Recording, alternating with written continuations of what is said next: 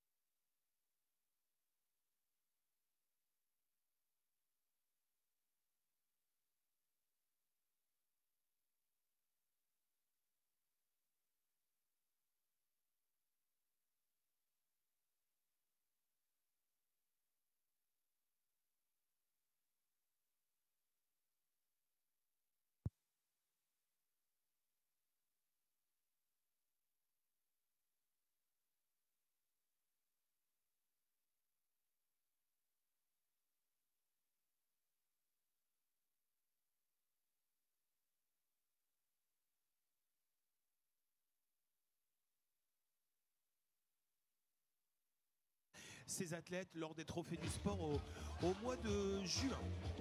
On va se retrouver dans quelques instants en direct. Nous aurons sur euh, la tête de course les motos avec Ludovic Thierry et Johan Pruvot qui nous feront vivre la course en direct, en live. On aura le, son sur les motos en tête de course.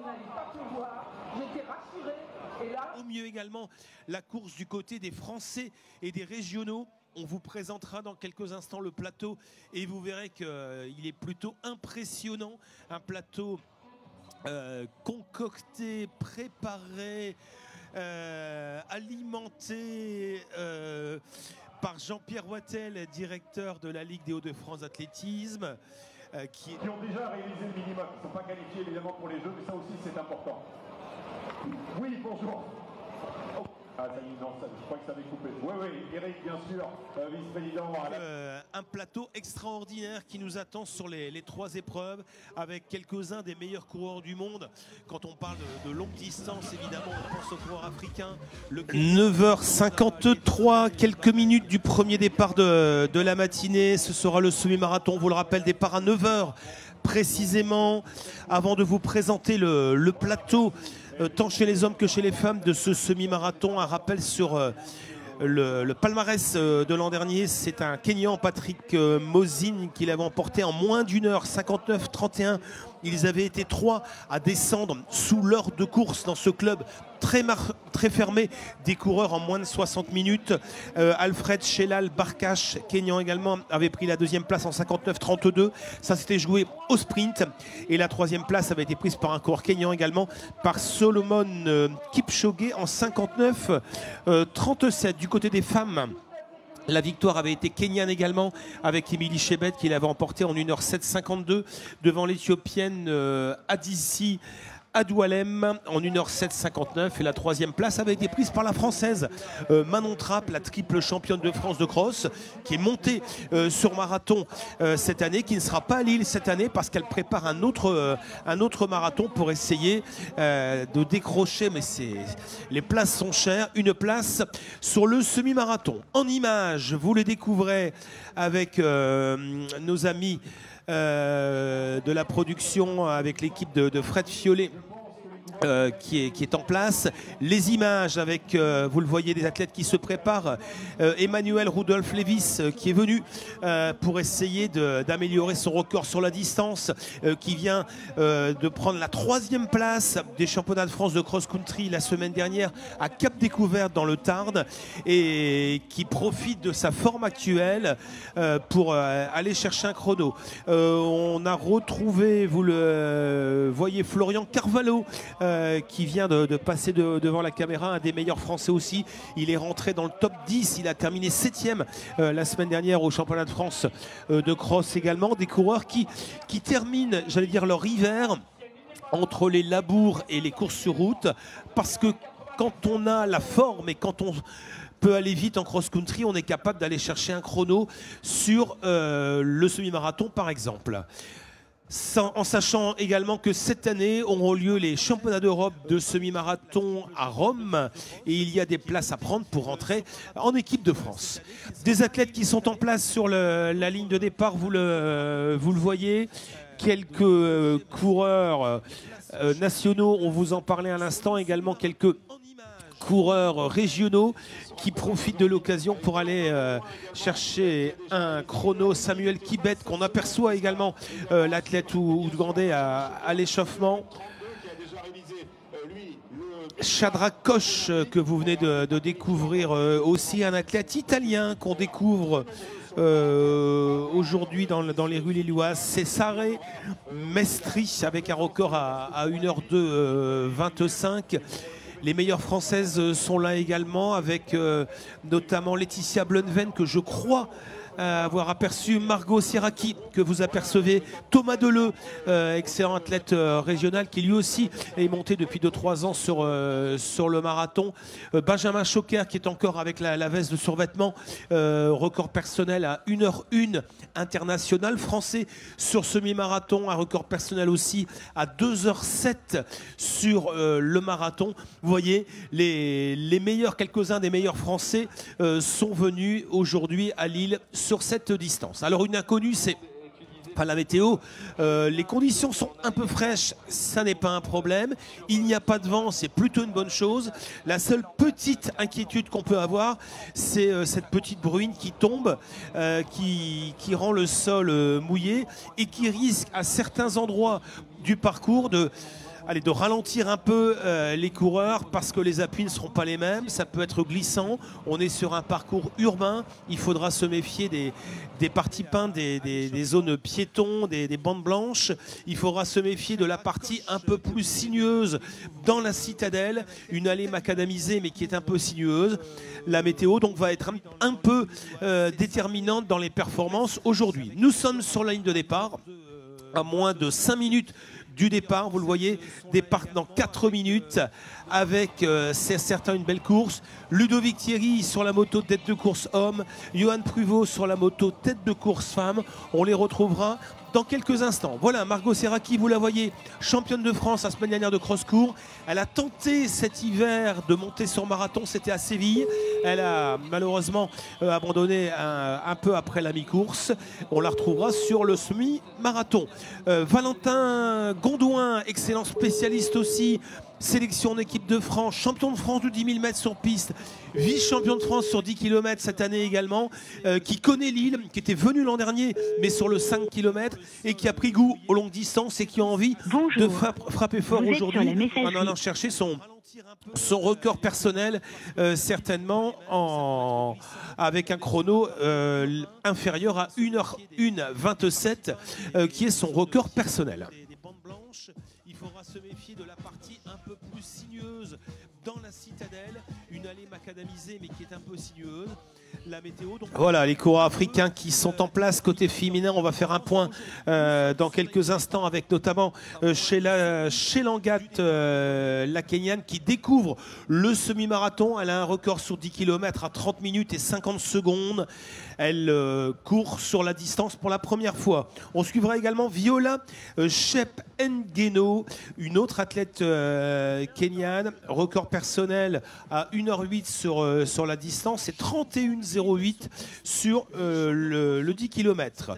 Côté belge également, on a nos voisins belges qui vont venir en nombre. Aujourd'hui, Juliette Thomas, qui a un record personnel à moins d'une heure 10, 1h09, 48, qu'on suivra également. Et puis, côté français, je vous le disais, Laetitia Blunven, la brestoise du stade brestois, podium la, semaine dernière à Cap Découverte, qui vient aujourd'hui pour euh, découvrir la distance. C'est également son premier semi-marathon Margot Serraki, je vais vous en parler à l'instant, euh, la nordiste qui est maintenant licenciée au club du pays de Fontainebleau Athlétisme, euh, qui vient euh, faire un, chrono.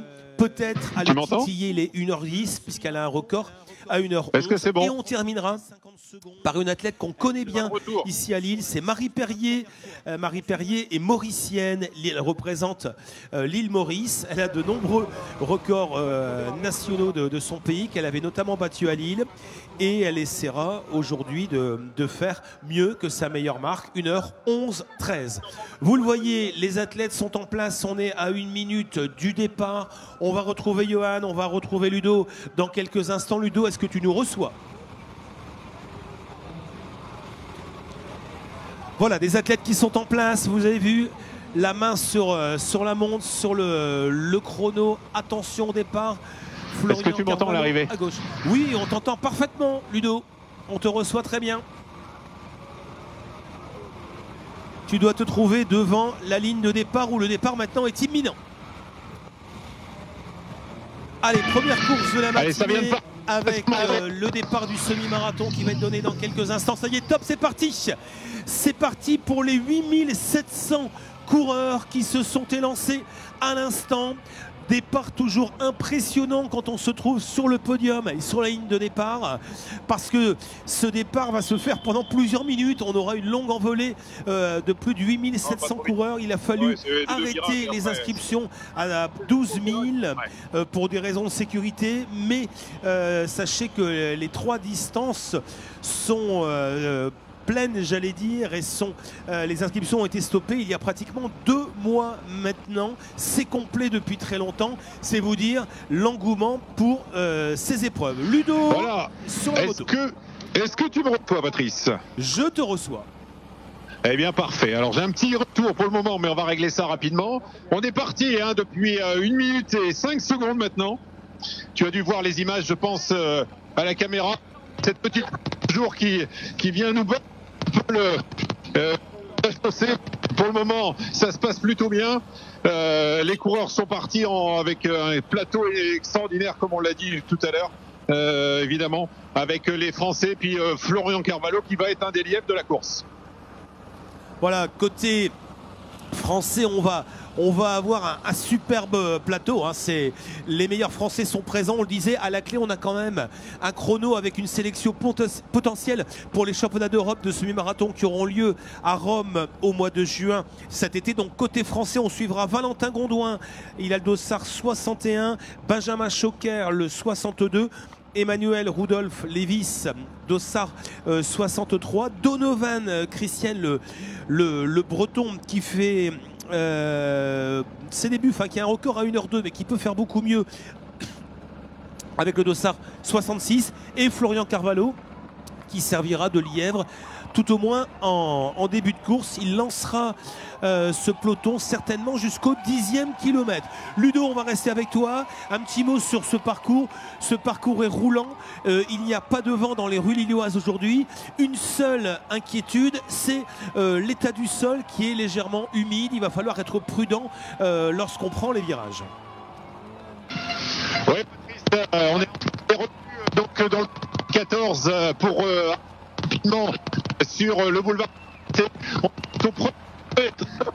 Au premier kilomètre, on est à 2, 2, 48 pour le premier kilomètre avec bien sûr le euh, qui est euh, Kiptou, euh, Kitou Calistus, euh, qui est prévu de passer en 28 minutes et 30 secondes. Donc on est un petit peu plus que, ce, cette allure, en tous les 2,46, 2,48 euh, sur ce premier kilomètre. Et voilà, on rentre dans le liberté. Voilà, alors la réception est moyenne. On va essayer de, régler cela pour avoir une, une réception moins assurée. Alors vous le voyez, euh, pas, de, pas de chrono sans lièvre. Alors pour les néophytes, le lièvre, ben c'est ça n'est pas le petit animal qui court vite, c'est simplement un coureur euh, qu'on appelle le pacer, avec nos amis anglais, euh, qui va rythmer la course. On a décidé euh, de partir sur des bases de 28-30 au 10 km. Et le paisseur, c'est lui qui va donner le rythme aux favoris, aux Ah, coureurs c'est qui sur sont le téléphone calés, euh, dans sa foulée et qui euh, n'ont pas besoin de se préoccuper du chrono. Ça va arriver euh, dans quelques instants. Ah, passage ok. devant le podium. Amis spectateurs, vous allez être de plus en plus nombreux dans la matinée. Ah, donc on va bien sûr encourager, applaudir les coureurs. On est Ouais. euh, quelque part aux alentours Ouais, du, je vais essayer de la mettre plus haut. ouais. Pro- allez, 1500 mètres de course avant le deuxième kilomètre et toujours euh, le Lièvre qui est aux avant-postes. Calistus Kitou euh, qui emmène ce, beau monde avec le, le groupe de favoris euh, emmené par euh, Kibet, Samuel Kibet, bien calé dans la foulée du Lièvre. Allez, ça va passer devant nous dans quelques instants. Les motos ouvreuses qui précèdent la course et puis euh, les hommes de tête dans quelques instants. Un gros plan sur la foulée de ces coureurs. C'est toujours, toujours impressionnant de voir leurs appuis. Allez, on va les encourager. Au passage, la voiture chrono qui précède de quelques mètres les coureurs. Ça arrive avec euh, les hommes forts de ce semi-marathon. Toujours Calistus Quito et un peloton groupé d'une douzaine de coureurs 100% africains. L'Ouganda, le Kenya, l'Éthiopie Valentin Gondouin, premier français, très bien placé, excellent départ. Florian Carvalho, Benjamin Choquer, euh, Donovan Christian également, euh, Emmanuel Rudolf Liviste également bien placé juste derrière. Et l'Italien Cesare Mastri. Les Français sont bien partis. Derrière, on retrouve les meilleurs régionaux avec Thomas Deleu qui emmène ce petit groupe. Salut Thomas. Allez, bonne course aux garçons. On va les soutenir. Nos coureurs régionaux qui profitent de cette aspiration avec les meilleurs. Juste derrière, dans le groupe qui suit derrière, les premières féminines sont déjà là. Sheila Chelangat, Viola Chepengeo et on va suivre bien sûr les premières françaises et régionales qui ne devraient pas tarder à arriver. C'est parti vite également côté féminin. Ouais, c'est parti. C'est un très très bon travail de Calicius Kitou. Est-ce que tu me reçois mieux d'ailleurs Margot Serraki, Ludo, je t'interromps, qui passe devant nous, la championne de France de cross-court, qui est bien cachée, bien au chaud, j'allais dire, au milieu du peloton. On revient avec toi, Ludo, sur la tête de course. Voilà. Euh, Kitou, euh, toujours lièvre évidemment, euh, pacer comme tu l'as dit, euh, qui emmène parfaitement cette course coureurs euh, kenyans et ougandais. Euh, ils sont 2, 4, 6, 8, 10, 11 encore dans ce groupe, mais ça va très très vite parce que déjà après euh, de course, eh bien on est en file indienne. Euh, vite avec le lièvre qui est à- effectivement tout seul en train de, de- de- Voilà, Ludo, on va te retrouver. La liaison n'est pas extraordinaire. Si on devait lui donner une note, on lui dirait allez 5 ou 6 sur 10. On va, on va être. euh, Ah, c'est pas ce que je peux Euh, on va être gentil, mais on va essayer de, de régler ces, ces problèmes de coupure. On l'a bien compris, Ludo en tête de course, c'est parti très vite. Nous derrière, on a pu faire un point sur les meilleurs Français qui sont juste derrière, dans le deuxième groupe, derrière, emmené par euh, Florian Carvalho, qui est le deuxième lièvre pour le groupe des coureurs français avec bah, tous les favoris ils sont tous là hein. Valentin Gondouin Benjamin Choquer Emmanuel Rudolf Lévis Donovan euh, Christian et puis euh, derrière un peu plus loin les premières euh, athlètes féminines sont parties très vite à mon avis. On va faire le point dans quelques instants. Et Margot Serraki a fait un bon départ devant Laetitia Blenven deuxième française pour l'instant. On va essayer de retrouver Johan sur la deuxième moto Johan où te trouves-tu? Certainement pas très loin de la tête de course féminine Ouais, je, t'entends, je t'entends Patrice et je vous entends Ludo. Effectivement, Ludo, ça coupait un peu avec la liaison. On est en train de remonter avec mon motard, euh, comme on a donné le départ. Je suis monté juste derrière, je suis en train de remonter le boulevard euh, de la Liberté pour pouvoir euh, rejoindre l'ensemble de la tête de course féminine. Dès que j'y suis, je vous fais un petit signe. Voilà, Johan, on va te retrouver quand tu le souhaites. hein, tu n'hésites pas à intervenir. Il Ouais. sera bien d'avoir, de faire un petit point sur la tête de course avec les, les meilleurs Français. On décrochera avec les premières féminines et on suivra. On va avoir du travail ce matin. Également la, la course des meilleures Françaises, Margot Serraki, Laetitia Blunven, qu'on va suivre de très très près. Nous ici, sur la ligne d'arrivée, on a ces magnifiques images que vous découvrez. On a les meneurs d'allure qui passent devant nous. On va les saluer. 1h30, les meneurs d'allure. Voilà, 1h30, 1h40, 1h50. 1h50, 2h, 2h10 je crois même. Merci aux meneurs d'allure qui vont euh, rythmer euh, la course des, bah, des anonymes, de ceux qui ont choisi de s'élancer aujourd'hui pour aller faire une performance. Allez amis coureurs, c'est le jaune qui domine aujourd'hui. Couleur des t-shirts offerts à tous les participants avec le, le sponsor, le partenariat de Nike. Est-ce que vous allez bien amis coureurs? Un petit signe au passage. Faites-nous signe. Allez, bonne course. C'est le début. Soyez réguliers. Soyez prudents, ne glissez pas surtout. Et puis on vous retrouve tout à l'heure quand vous repasserez devant nous. Bonne course en tout cas. 9 minutes de course, Ludo. On a dû passer Oui. au troisième kilomètre. Oui, on a pas. J'ai fait un pointage derrière pour aller voir effectivement les Français avec euh, Valentin Gondouin qui est euh, qui est seul, devant le groupe des Français emmené par euh, Florian Cavallo euh, parce qu'effectivement il y a un lièvre pour les Français donc avec euh, Florian et Valentin Gondouin se trouve entre les deux groupes entre le groupe de tête des Français je me retourne pour voir euh, Valentin en train peut-être de, de laisser le groupe de Carvalho, ce qui serait plus raisonnable s'il veut faire un gros chrono aujourd'hui, parce qu'évidemment, sinon, il va courir seul à la chasse des, des coureurs euh, kenyans et éthiopiens. Et là, il décroche le groupe l'arrière.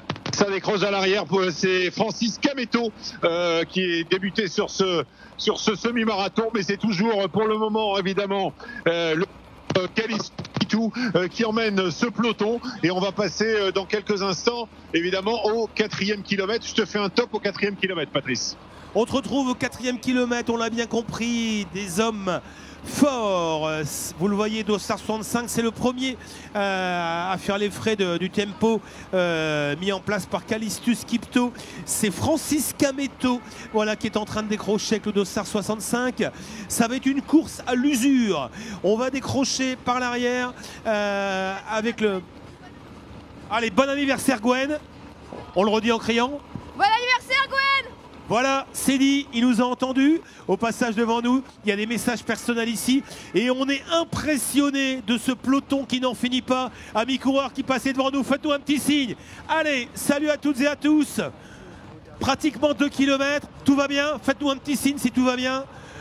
On est très heureux de vous accueillir dans les rues de Lille. Vous êtes très nombreux aujourd'hui, plus de 8700 au départ du semi-marathon. Et cette ligne droite du boulevard de la Liberté est impressionnante parce qu'elle est noire de monde. Il n'y a que des coureurs. Du début à la fin, vous êtes euh, en place, vous êtes dans la place, j'allais dire.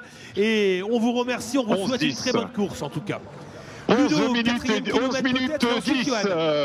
Johan. euh, 11 minutes 10, Patrice, au quatrième kilomètre. On est toujours euh, sur des allures de 59 minutes euh, à l'arrivée. Euh, on est sur le chemin du train de l'os autour de la citadelle, bien sûr, très, très fréquenté habituellement. Mais là, aujourd'hui, c'est très calme parce que tout est bloqué, évidemment. Mais quelques joggeurs qui regardent quand même passer cette troupe de Kenyans qui, eh bien, sur ce, sur ce parcours, c'est la là quand même un peu la difficulté de, ce circuit euh, avec euh, effectivement une chaussée qui est pas complètement euh, stabilisée mais les Kenyans les Éthiopiens et les Ougandais sont survolent ce chemin de, de Patrice. Ouais, merci Ludo. Toujours sur des bases de moins d'une heure. On voit que ça va vite. Regardez, plein écran, le travail du LIF, Calistus Kipto, qui pour l'instant euh, réalise un sans faute. Il est régulier et derrière, on a encore allez, 7-8 coureurs qui sont encore capables de tenir euh, le rythme. Bah, ça va s'égrener évidemment au fil de kilomètres. Alors, un, semi-marathon, je suis à côté de Fanny Pruvot euh, qui connaît bien la distance puisqu'elle a remporté deux fois le titre de championne de France sur cette distance. Fanny, on n'est pas encore au cinquième kilomètre. Pour l'instant, c'est. Le hors-d'œuvre, on, on rentre tranquillement dans la course. Un semi-marathon se joue après le 15e kilomètre. Là, pour l'instant, on s'économise, on en garde au maximum sous le pied. Bah, c'est vrai que euh, généralement en semi, on a un peu de mal vers le 17e, 17, 18e. Donc euh, je pense qu'il faut un peu gérer, euh, bah, toujours dans ses allures. Donc là, ils vont, enfin, ils vont quand même vite. hein. Mais euh, une fois passé le 17e, je pense qu'après, euh, c'est là où ça se fait et il faut tout donner. et il faut tout donner. On se retrouvera tout à l'heure après le 17e Fanny, on verra comment ça se passe. En tout cas, ça va vite pour les hommes de tête. Johan, on te retrouve sur la deuxième moto alors qu'on a un autre meneur d'allure euh, qui passe devant nous, 1h50 et on a un, coureur déficient visuel qui passe là. On va le saluer également, euh, présent au cœur du peloton. Johan, avec toi sur la tête de course féminine. Ouais, ouais, alors je n'y suis pas, je n'y suis pas Patrice parce qu'on a eu vraiment beaucoup de monde à remonter. On a pris l'option de les euh, récupérer à la citadelle. D'accord, donc on, on, attend que tu puisses récupérer les coureurs. Nous, on apprécie le spectacle parce que voir passer euh, ces coureurs anonymes devant nous, aussi nombreux, c'est un vrai spectacle. Et on aime bien prendre la température un, peu euh, avant le, deuxième kilomètre, passage euh, devant l'écran géant. Vous allez peut-être pouvoir vous voir même en passant devant l'écran géant. Patrice. On vous salue. Ludo. Ouais, 14 minutes, secondes 02 aux 5000, 5 km, Patrice, euh, c'est toujours très très rapide, hein, comme euh, tu peux le, constater, et, c'est un signe parce que le lièvre a trois d'avance peu derrière. Euh, les autres sont derrière connaissent ses, allures et ils ont laissé effectivement 2-3 mètres, voire 5-6 mètres entre le lièvre et eux-mêmes. Ils sont maintenant 4 et 4-8 et un autre. Il y en a deux. on l'avait tout à l'heure sur 36 euh, Camito et puis euh, le 70 Tarto euh, qui a décroché évidemment de, de ce groupe de tête également. Voilà Ludo, on, reçoit les informations, euh, ta voix est très claire, mais on a des coupures, c'est très assuré. Alors je ne sais pas si c'est un problème de, de connectique, parce que le, euh, le, son est relativement clair, mais c'est assez assuré. On va essayer d'améliorer tout cela, essayer de bien, de bien poser le matériel, de le protéger peut-être de l'humidité, et on va te retrouver dans quelques instants. Euh, on est passé au cinquième kilomètre, on est toujours sur des bases rapides, on est en train de quitter les allées du parc de la citadelle, vous le voyez, avec toujours un homme en tête, un seul coureur. Son rôle, c'est d'emmener euh, le groupe des favoris sur des bases rapides, sur des bases inférieures à, à l'heure de course. C'est Calistus Quito avec son, son maillot blanc. Objectif, passer au dixième kilomètre en 28 minutes 30 les coureurs euh, comprendront ce que ça veut dire. Ça veut dire que euh, ouais, ce début du dans la liberté, j'accélérerai avec le motard et on sur la ligne. Ils sont encore euh, un petit groupe à tenir la cadence. 1, 2, 3, 4, 5, 6, 7, 8. Ils sont 8 encore bien calés dans la foulée du Lièvre. Alors je ne sais pas si les, équipes de Fred Fiolet, FF Prod ont une caméra sur la tête de course féminine. Si c'était le cas, ben, on est forcément preneur pour, pour quelques images. Sinon, on retrouvera Johan dans quelques instants dès que les premières féminines sortiront du bois de la citadelle. Ludo, on revient avec toi, un nouvel essai. On espère que la liaison sera meilleure. 9 coureurs en tête, un lièvre et 8 coureurs bien calés, j'allais dire tranquillement, mais c'est pas le mot, bien calés dans la foulée du lièvre. Ouais, caler tranquillement à, moins d'une heure au, SMI, euh, évidemment, c'est un petit peu particulier. Euh, mais en fait, de toute façon, le lièvre euh, fait son travail. Il a vu que effectivement, ça suivait pas complètement, donc il a relevé un tout petit peu. Les attend de faire son rôle parce qu'il doit les emmener jusqu'au dixième kilomètre. Alors c'est dans quelques instants au sixième kilomètre, Patrice déjà. On est en train d'arriver sur, attention, 16 54, 16 54 au sixième Patrice. On va donc arriver le boulevard de liberté une nouvelle fois. Euh, et on, voilà, on est tout. Ouais, c'est à nouveau assuré, Ludo. C'est à nouveau fait une, et une heure. Bon, on va arriver sur la ligne Ouais, euh, alors c'était correct au début, on t'a bien compris, et puis ensuite c'est devenu très assuré euh, à la fin de ton intervention. On te retrouve dans quelques minutes et on a ici le groupe des coureurs de deux heures. Deux heures de course. Pour vous, c'est l'objectif, moins de deux heures. Est-ce que vous allez bien? Ça va, on va monter le son. Allez, avec Quentin, on va vous encourager, levez les bras au passage. Allez, faites-nous un petit signe. Moins de deux heures, c'est jouable. C'est à vous de le faire, c'est que le début. Soyez réguliers, soyez les bienvenus. Vous êtes à Lille sur le semi-marathon, vous êtes nombreux, près de 9000 ce matin. Bonne course à tous.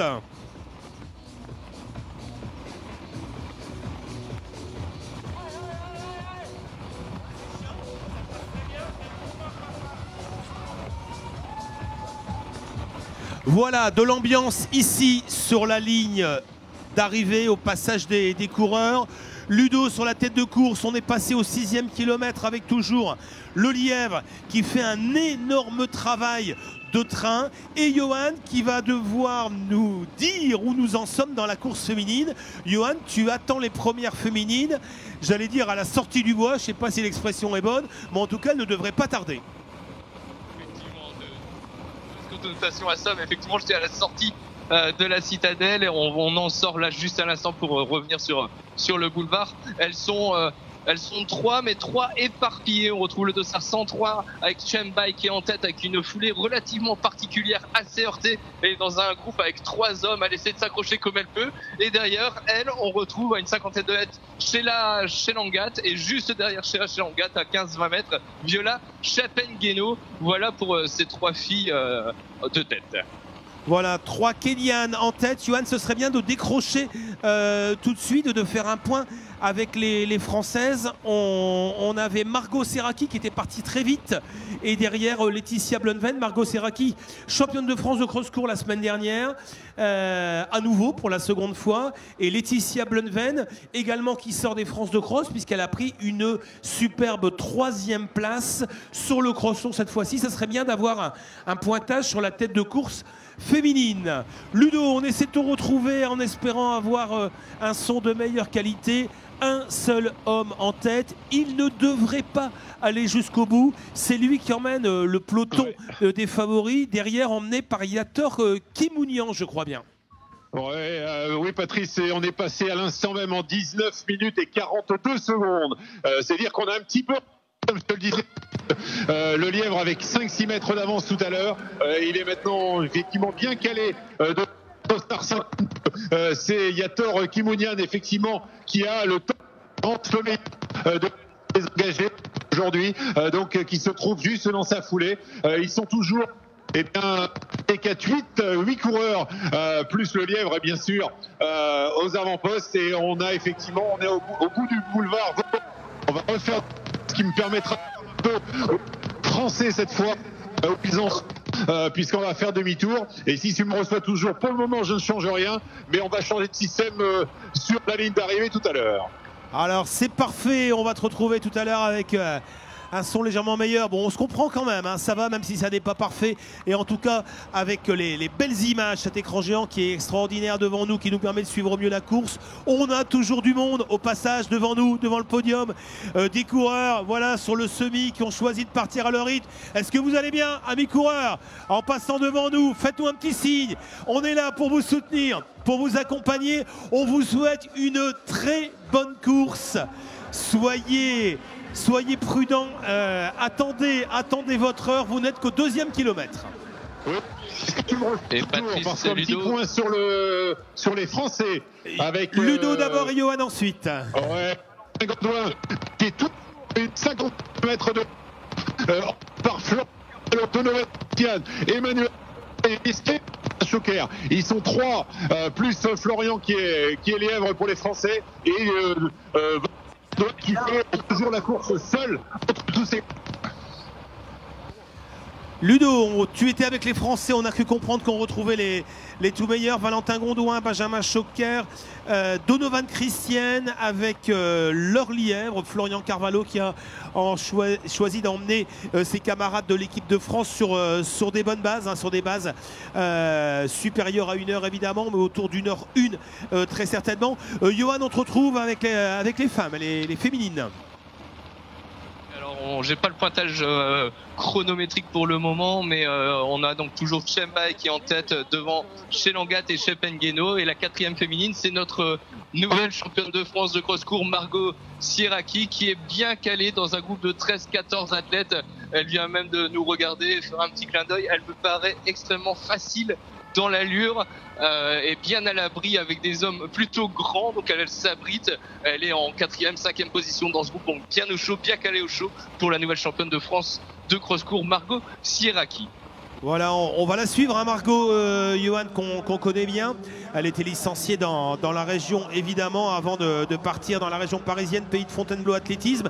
Elle a un record à 1h11 et une seconde exactement. Elle a tenté de monter son marathon cet hiver. Elle a retravaillé sa vitesse pour remporter le cross-court euh, la semaine dernière. Et Johan, tu devrais euh, apercevoir aussi euh, la deuxième française, Laetitia Blunven, avec le dossard 146, la brestoise, qui elle découvre la distance découvre le semi-marathon et qui profite de sa forme actuelle euh, pour, euh, pourquoi pas, aller chercher un chrono dans les rues lilloises. Johan, on te retrouvera dans, dans quelques minutes. Ludo, nouvelle tentative ensemble avec le peloton de tête, le peloton de tête pardon, et toujours euh, Calistus, Calistus Kipto et vous allez revenir ici sur la zone d'arrivée. On vous voit euh, boulevard Vauban avant de reprendre le boulevard de la Liberté dans le sens opposé euh, avec les hommes de tête.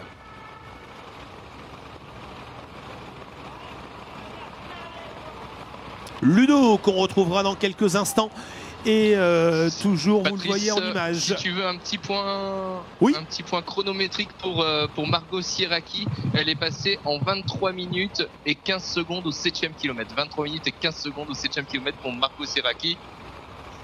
Voilà ce qui nous fait une allure, Johan, de on va essayer de On est sur le tempo de. Tu multiplies par 3, 23 x 3, ça nous fait 1h09 euh, et 15 secondes x 3, 1h45, 45 secondes. Elle est sur euh, moins d'une heure 10 pour le moment. Voilà, donc ça semble être clair. Elle est partie sur des bases inférieures à 1h10. Ce serait euh, largement sous son record personnel, 1h. 11 et 1 seconde, alors que les derniers concurrents viennent de passer euh, devant nous un peu avant le, deuxième kilomètre. Et dans quelques instants, on va retrouver euh, la tête de course masculine. Ils reprennent euh, la belle perspective du boulevard de la Liberté dans le sens opposé. Voilà avec les motos ouvreuses. Ludo, on va se retrouver dans, dans quelques petites minutes. Toujours un homme en tête, Calistus Kipto.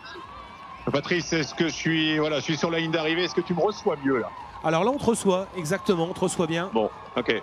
On va repartir avec, euh, dans quelques instants, on va attendre les coureurs ici. La liaison avec Johan est correcte, avec le dos un peu moins bonne. Euh, et on va pouvoir accueillir, amis spectateurs, les, les hommes de tête. Ça n'est pas l'arrivée, bien sûr. Hein. Nous ne sommes pas encore à la mi-course. Nous sommes à 25 minutes de course.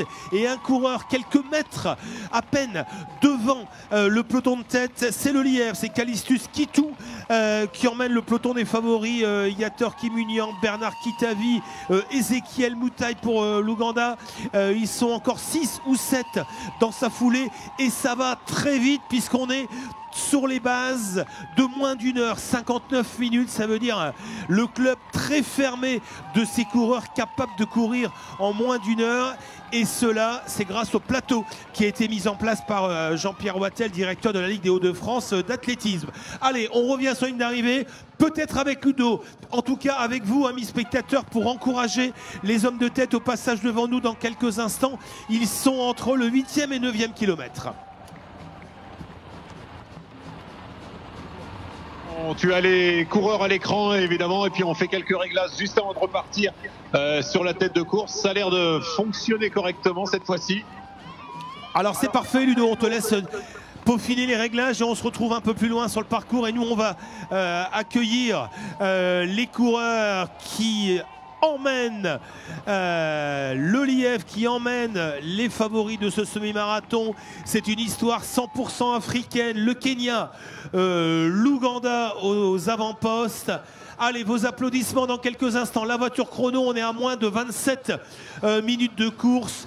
Peloton encore groupé, mais un peloton beaucoup moins important qui est en train de fondre complètement sous le rythme infernal imposé par Calistus Quito. Allez, passage devant nous. Le Lièvre, 2, 4, 6, encore 7 coureurs calés dans la foulée du, Lièvre. Les favoris sont, sont, en place. On a aperçu John Kameto également. On a aperçu Ali Chebures également dans ce groupe de tête.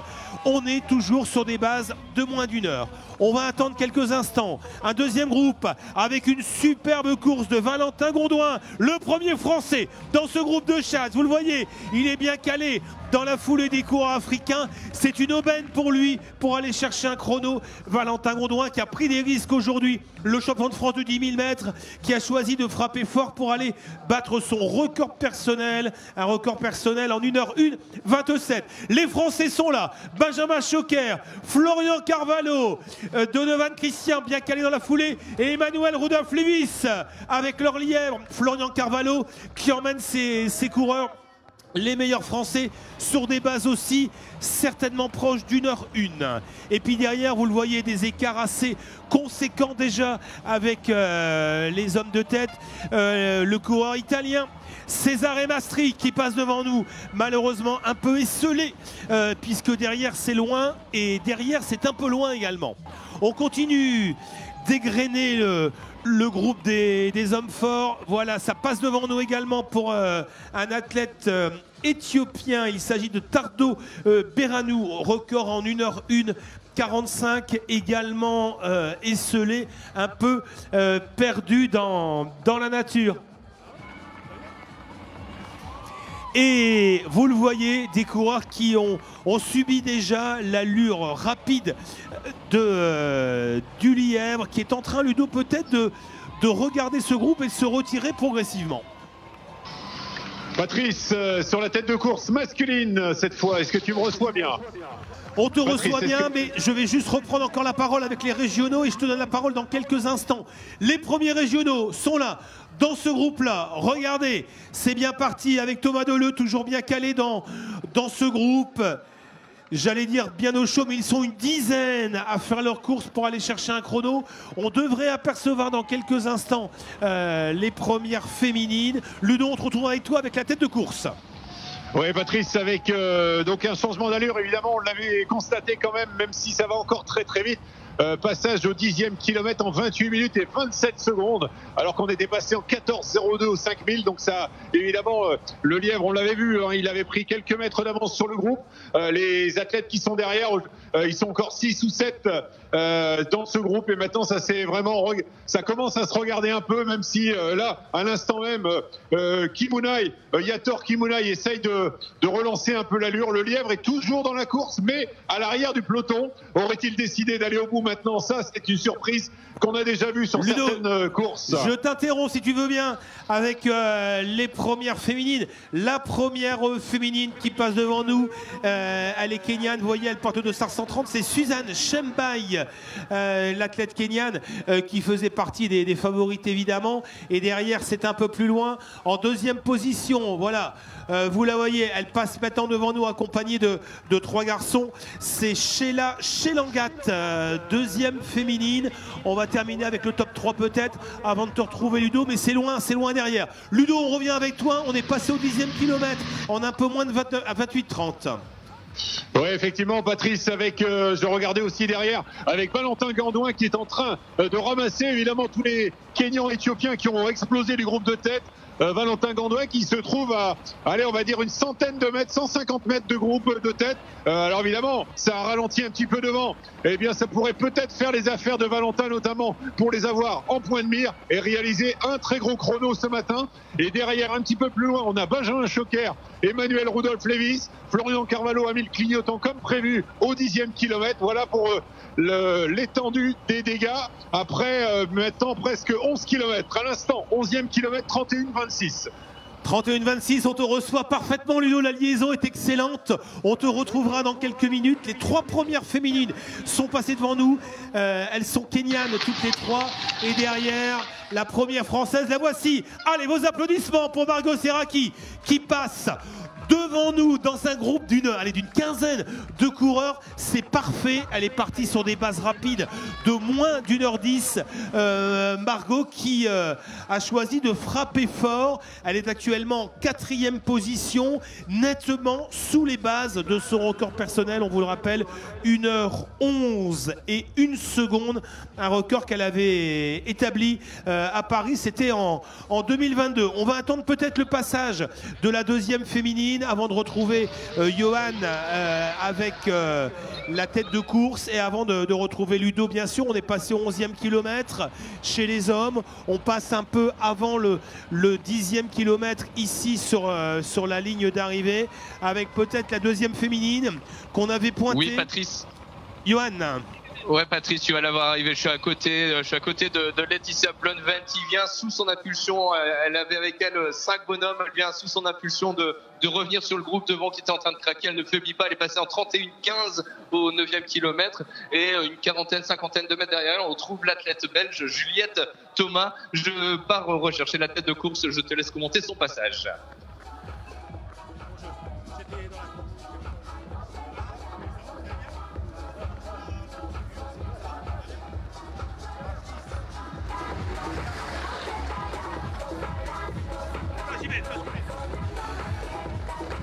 Voilà, la voici Laetitia Blunven, vous la voyez plein écran. Euh, deuxième euh, française euh, de la course. Juliette Thomas également bien placée pour l'athlète belge qui a choisi de venir à Lille pour faire une performance. On salue l'arrivée des, élus de Martine Aubry qui est à nos côtés, qui nous a rejoint sur le car podium après avoir vécu un, un superbe départ. Je n'y étais pas, mais ça devait être assez extraordinaire. Ils étaient plus de 8700 à s'élancer sur cette première course. Oui, c'est incroyable. 14 minutes pour voir passer au départ euh, ces 8500 euh, euh, coureurs. C'est vraiment formidable, malgré le temps qui a l'air de s'améliorer un petit peu. On est très très heureux, c'est un magnifique succès. Bravo encore à la Ligue des Hauts-de-France. Voilà, merci Martine Aubry, maire de Lille, qui est à nos côtés euh, pour suivre devant l'écran géant les moyens euh, mis en place par la Ligue hein, pour ne rien rater de ce qui se passe, des images, du son, un super parcours, même s'il est un peu humide ce matin, on espère que ça va sécher. Et on retrouve, sans plus tarder, avec ces magnifiques images, ces magnifiques ralentis, le groupe de tête, Ludo, le lièvre à mille clignotants. On retrouve 6-7 coureurs aux avant-postes. On doit être entre le allez, 12e, 13e kilomètre. On passe à l'instant même au 12e kilomètre en 34 minutes et 22 secondes, Patrice. Euh, le lièvre qui est toujours dans le groupe, il a du thermique parce que l'allure était vraiment en train de ralentir très fortement euh, et on a fait un pointage avec euh, avec le premier français Valentin Gandouin qui se trouve à 13 secondes 13 secondes de ce groupe de tête Patrice. Ouais, une course on peut en parler hein, de, Valentin Gondouin extraordinaire Ludo, il est en pleine progression, il est en pleine confiance, champion de France sur 10 000 mètres, champion vice-champion de France sur 10 km. il a fait une sélection d'équipe de France sur semi marathon l'an dernier au championnat du monde. Il est sur euh, des bases extrêmement rapides. Oui, parce que devant, évidemment, on est autour de 1 heure, euh, une heure à peu près euh, sur le temps d'arrivée, 1h10, 1h20 peut-être. et donc Donovan, Valentin qui est, qui est effectivement à 13-14 secondes derrière, va faire, peut faire effectivement un très gros chrono aujourd'hui. Voilà, on va le suivre de près. Donc les hommes de tête sont des bases d'une heure ou un peu moins d'une heure. Derrière Valentin Gondouin, premier français sur des bases assez folles, nettement en dessous de son record personnel. Et du côté des féminines, Johan, où en sommes-nous On suit les meilleures françaises avec Margot Siraki et on suit bien sûr euh, la tête de course avec une femme en tête, Suzanne Chembay. Elle est kenyane. Oui, Patrice, je suis revenu à hauteur de, Suzanne Chembay. Effectivement, elle a pris la poudre d'escampette. Hein. Alors, elle était tout à l'heure dans un groupe de 4. Elle est légèrement distancée de, ce trio euh, euh, qui est parti juste devant elle. Elle a toujours cette foulée euh, un peu heurté, ce style assez peu académique, mais ça a l'air d'être quand même efficace.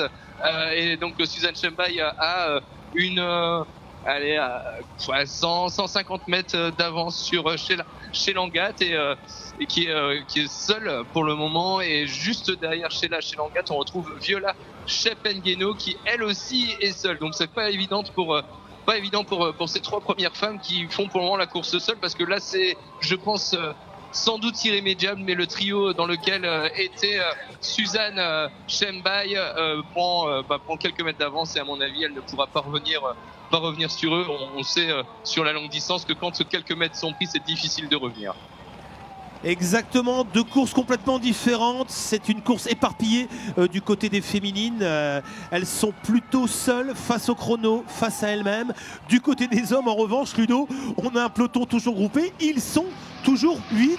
Et chose surprenante, le celui qui a emmené euh, ses coureurs sur des bases de moins de 28-30 au 10e kilomètre, bah, il est venu se recaler dans la foulée des autres coureurs. Il est toujours présent. Ouais, toujours présent, Patrice, euh, effectivement bien calé, alors que c'est euh, maintenant euh, Samuel Kibet qui a qui s'est mis aux avant-postes. Mais là, pour le coup, on est sur un train très régulier hein, parce qu'on est quand même toujours autour de 1 heure 30 secondes à peu près sur le temps final, mais on sait que ça va accélérer très rapidement à partir de la citadelle, très certainement, parce que là, ils sont trop nombreux pour la victoire. oui, Patrice. Oui, bah, il passe devant nous, alors on prend le relais et puis on te donnera la parole après. Et Valentin Gandouin est juste derrière, Patrice. Alors on va le suivre, on suit les meilleurs. Ils sont africains, c'est le Kenya, c'est l'Ouganda. Aux avant-postes, ils sont encore 8 aujourd'hui à pouvoir prétendre à la victoire. Regardez, regardez, appréciez cette foulée, appréciez ces allures. Ça va très vite. Ce sont quelques-uns des meilleurs coureurs au monde qui sont présents aujourd'hui dans les rues de Lille. 8 coureurs pour une seule place pour la victoire évidemment et peut-être un chrono sous euh, sous les 60 minutes. Valentin Gondouin, premier français, course extraordinaire de Valentin. Allez, on va le pousser, on va le soutenir avec le dossard 61. Euh, Il est largement sous les bases de son record personnel, à quelques petites secondes des hommes de tête. Et puis derrière, regardez, c'est en train d'exploser un peu à tour de rôle des coureurs qui ont accompagné un moment les hommes de tête. Un autre coureur kényan, voilà, qui passe devant nous. C'est euh, Francis Kameto qui a quelques, pendant quelques kilomètres accompagner les hommes de tête et qui maintenant va devoir euh, aller jusqu'au bout et, tenir. Les Français sont là. Emmanuel Rudolf Levis, Benjamin Choquer en deuxième et troisième position pour les Français.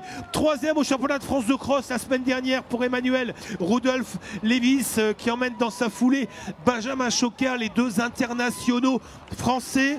On n'a plus de nouvelles de Florian Carvalho qui avait été le lièvre euh, pour les Français sur jusqu'au dixième kilomètre. Et en tout cas, euh, nos Français qui font une superbe course. Euh, Johan avec la, la, tête de course féminine et on revient avec Ludo ensuite. Ouais, tout à fait, Patrice. Euh, on revient d'ici quelques mètres sur le boulevard de, de la Liberté. Je suis toujours avec Suzanne Chembay. donc, elle perd quelques mètres hein, par rapport au groupe dans lequel elle était tout à l'heure.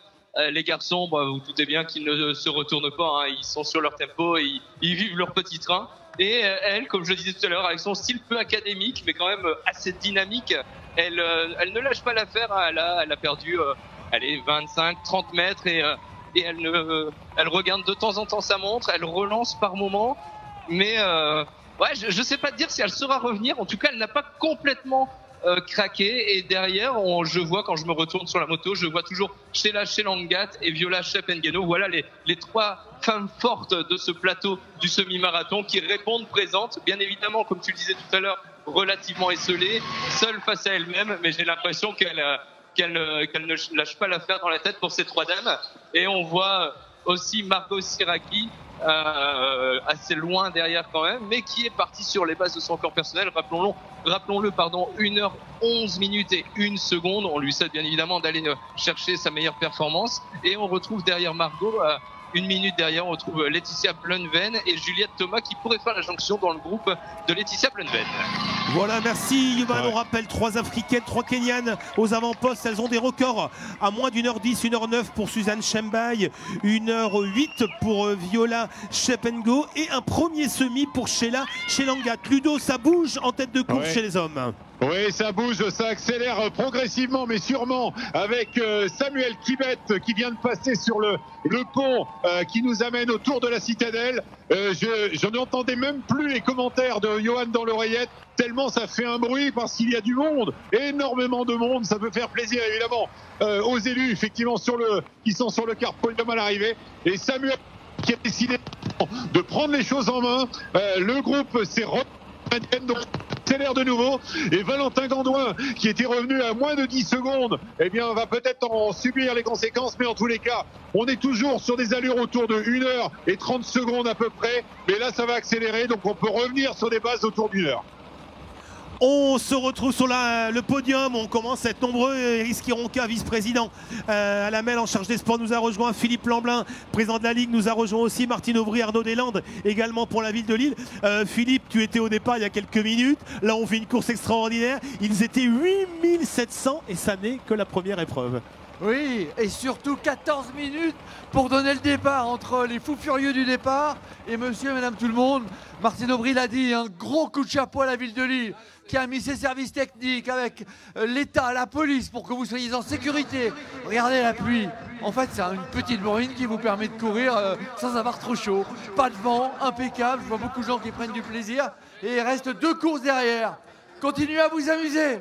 Voilà, merci. C'est la positive attitude. Il pleut, mais c'est bien. Parce que quand on fait des longues distances, on aime bien être, avoir un peu d'humidité. Ben, c'est le cas. C'est une petite bruine naturelle. On reste sur euh, le podium ici face à l'écran géant. Merci à nos amis de FF Prod pour euh, la production des images, des images de qualité. On ne rate rien de ce qui se passe d'important. Regardez, ces ralentis sont magnifiques. Vous découvrez le haut niveau des coureurs euh, relâchés avec des foulées incroyables. On a l'impression qu'ils ne touchent pas le sol. Et aujourd'hui, on va vivre encore de grosses, grosses, grosses courses avec de, belles performances. C'est certain. Euh, Johan, pas de changement sur la tête de course féminine. Où en sommes-nous peut-être avec Margot Serraki, la première française Ouais, non, non, tout à fait. Pas de changement pour les trois premières féminines. Je me suis arrêté. Je pense que c'est la dernière fois où je vais pouvoir le faire. Euh, on s'est arrêté avec, euh, avec mon pilote pour faire un état des lieux où on est Margot Siraki, voir comment elle réagit, si elle est toujours dans le groupe de 13-14 bonhommes dans lequel elle était. Et après, je refilerai sur la tête de course. On revient avec toi dans quelques instants. Ludo, un homme qui a essayé de, de, prendre le large, mais il n'y a pas réussi. C'est Samuel Kibet euh, qui est rentré dans le rang. Ouais, enfin qui est rentré dans le rang, qui emmène quand même toujours euh, ce groupe. Maintenant, ils sont quatre à vouloir se détacher avec Samuel Kibet, avec Yator euh, Kimouniaï, bien sûr, avec euh, le dossard 67 Raphaël Collian et le dossard 55 euh, Ezekiel Moutaille. Voilà, ils sont quatre et on est passé au 15e kilomètre en 43 minutes et 8 secondes. C'est-à-dire qu'on est revenu sur des allures voilà, un petit peu inférieures à 1 heure et 30 secondes. Donc ça va encore accélérer maintenant. je me où en est euh, Valentin Gandois euh, qui est toujours à une dizaine de secondes. J'ai même l'impression qu'il est en train encore de revenir un petit peu euh, sur ce groupe qui est en train d'exploser devant. Ça va lui faire ses affaires. Allez, Valentin Gandoin qui est, qui effectivement, comme tu disais Patrice, il est largement sous les bases de son record. Et avec les points de mire que nous sommes avec les motos, il sait que les coureurs sont juste là devant. Et donc il y a, ouais, il y a 10-12 secondes maximum entre le groupe de tête et Valentin Gandouin. Alors c'est intéressant pour le français, Ludo, hein, tu le confirmeras, parce que devant c'est en train de, fondre, hein. ils ne sont plus que 3, 4, 4 en tête, et derrière ben, il va avoir en perspective, en ligne de mire, les coureurs du groupe de tête qui sont en train de craquer, et pour lui ben, ce sera à la fois une motivation supplémentaire et des bons repères. C'est toujours bien de finir, parce que là on rentre dans, le dur, hein. on est après le 15e kilomètre, c'est de finir la course avec des coureurs en, référence devant soi et de, donc, comme on dit dans le jargon, ramasser les morts un peu au fil des kilomètres. Ouais, carrément, Patrice, parce qu'en en fait, là, il a évidemment, il fait la course tout seul depuis tout à l'heure quand même. Donc, euh, on va attendre évidemment le 16 ou le 17e pour voir s'il n'y a pas un, petit coup de moins bien. Mais en tous les cas, pour le moment, il est parfaitement calé. Euh, il est en point de mire de tous ses coureurs. Ça explose, comme tu le dis, avec euh, trois coureurs qui sont en train de lâcher euh, le groupe de tête, c'est-à-dire le Dossard 59 Kameto, également Bernard Kitavi, qui avait un record à, une heure au, demi-marathon, et avec le Dossard 58 également qui est en train de lâcher Sadrak Koch, alors qu'on vient de passer en 46 0,5. C'est-à-dire qu'on a encore un petit peu accéléré sous l'impulsion de Samuel Kibet. Mais du coup, euh, je me retourne pour voir 46,05. Ouais, il y a une quinzaine de secondes quand même entre la tête de course et Valentin, mais il y a des coureurs intermédiaires et c'est ça qui va, l'aider à Valentin. Euh, c'est les coureurs maintenant qui sont en train de lâcher et qui va pouvoir s'appuyer euh, à chaque fois qu'il va revenir sur un de ses coureurs. Il a l'air fort, il a l'air très fort ce coureur au maillot bleu, Samuel Kibet, coureur euh, ougandais qui n'est pas un inconnu puisque ce coureur a remporté une des grands classiques, une des grandes classiques françaises, Marseille-Cassis, c'était au mois d'octobre l'année dernière, vainqueur de Marseille-Cassis en 2023 et c'est lui qui est en train de faire le, le, travail, c'est lui qui est en train d'essayer de, de partir, il accélère encore au train, vous le voyez et ça fait mal Ludo parce qu'ils étaient quatre en et on a un, des, un du quatuor, un des coureurs de tête qui est en train de craquer. Ouais, c'est qui est en train de qui a lâché maintenant euh, sous l'impulsion de, Samuel Kibet. Mais là, on peut le dire, effectivement, l'allure a considérablement changé euh, alors qu'on est en train euh, de rattraper la fin de cours du semi-marathon. Alors c'est maintenant, ça va être un autre sport également aussi pour ces athlètes. On va mettre évidemment les motos qui vont bien pour écarter les coureurs, pour évidemment ne pas gêner ces athlètes euh, africains euh, qui sont en train d'en découdre. Mais Samuel Kibet est en train effectivement de, de, faire un grand numéro avec Yator Kimouniaï et également Ezekiel Moutaï. Voilà. Donc euh, Ezekiel Moutaï, le 55, euh, un athlète ougandais également, donc deux Ougandais et un Kenyan aux avant-postes, Patrice. Johan, on te retrouve du côté des féminines. Et oui, tout à fait. Changement, changement. Alors pas en tête, mais pour la troisième place, Margot Siraki est venue euh, euh, déposer littéralement euh. Elle vient de faire la jonction il y a 30 secondes et Shep Ngeno est déjà relégué à, à 15 ou 20 mètres derrière elle. Euh, le groupe dans lequel était Margot, ils étaient tout à l'heure une quinzaine, ils sont plus maintenant que 3, 6, 7 plus Margot, ils sont 8 dans le groupe de Margot, un peloton relativement étiré. J'ai l'impression que je reconnais la, foulée de Félix Bourg. Euh, Patrice, si tu as si tu as le, la start list, j'ai l'impression qu'il y a Félix Bourg qui fait lièvre pour Margot qui se retourne très régulièrement. Euh, le dossard 82 et Margot est toujours aussi dynamique au sol. C'est impressionnant ce qu'elle est en train de faire. Je vais attendre la prochaine bande kilométrique et après je repartirai sur la tête de course. Alors ça n'est pas Félix, c'est le frangin, c'est Ludovic Bourg, euh, son ah. frère qui, euh, qui, est, qui est là, un peu la même allure évidemment, l'allure de, eh ben, de, la, même allure, ouais, ouais, de dos, de dos c'est impressionnant. J'ai l'impression que c'est Félix. Et il a été champion euh, interrégional, il a gagné sa demi-finale de, de cross-country il, il, y a quelques semaines. Ludovic Bourg qui est un, un bon coureur, un, un, bon spécialiste. Allez, on revient sur la Et tête dans... de course. Le Johan, oui. Ouais, ouais, j'allais dire. Et dans ce groupe, on a un athlète euh, régional de l'AS105 que tu connais tous parfaitement, un très bon spécialiste du cross, Alexandre Villain. Exactement, des bons coureurs régionaux qui profitent euh, de la densité, qui profitent euh, du haut niveau pour aller chercher également un chrono. Quelques-uns des meilleurs, meilleurs coureurs mondiaux, quelques-uns des meilleurs coureurs français. On a pratiquement un championnat de France aujourd'hui sur le semi-marathon et quelques-uns des meilleurs coureurs régionaux euh, avec Johan sur la tête de course féminine, avec Ludo sur la, la tête de course masculine. Ludo, ouais. ça y est, on est dans le money time, on est au 16e, ouais. 17e kilomètre. On, est passé le 17e kilomètre déjà, Patrice, avec euh, maintenant un changement. Un Ougandais remplace un Ougandais devant. Euh, C'est euh, Ezekiel Moutaï qui, est passé devant Samuel Kibet et, tout de suite dans sa foulée s'est positionné Yator Kimouniaï. Alors c'est lui qui me paraît le plus le plus à l'aise maintenant et qui regarde les deux ses deux compagnons d'échappée depuis tout à l'heure et qui est en train de les jauger réellement alors qu'on est en train de se faufiler, euh, se frayer un chemin même euh, parce que tous les coureurs euh, qui sont en train de terminer, qui sont dans leur ils sont pas encore en train de le terminer. Eh bien, les coureurs africains évidemment doivent passer euh, dans de bonnes conditions. Donc, on est en train de voilà de, de faire un peu l'ouverture de course aussi avec Samuel. Avec Yator Kimouniaï qui semble maintenant vouloir prendre les choses en main.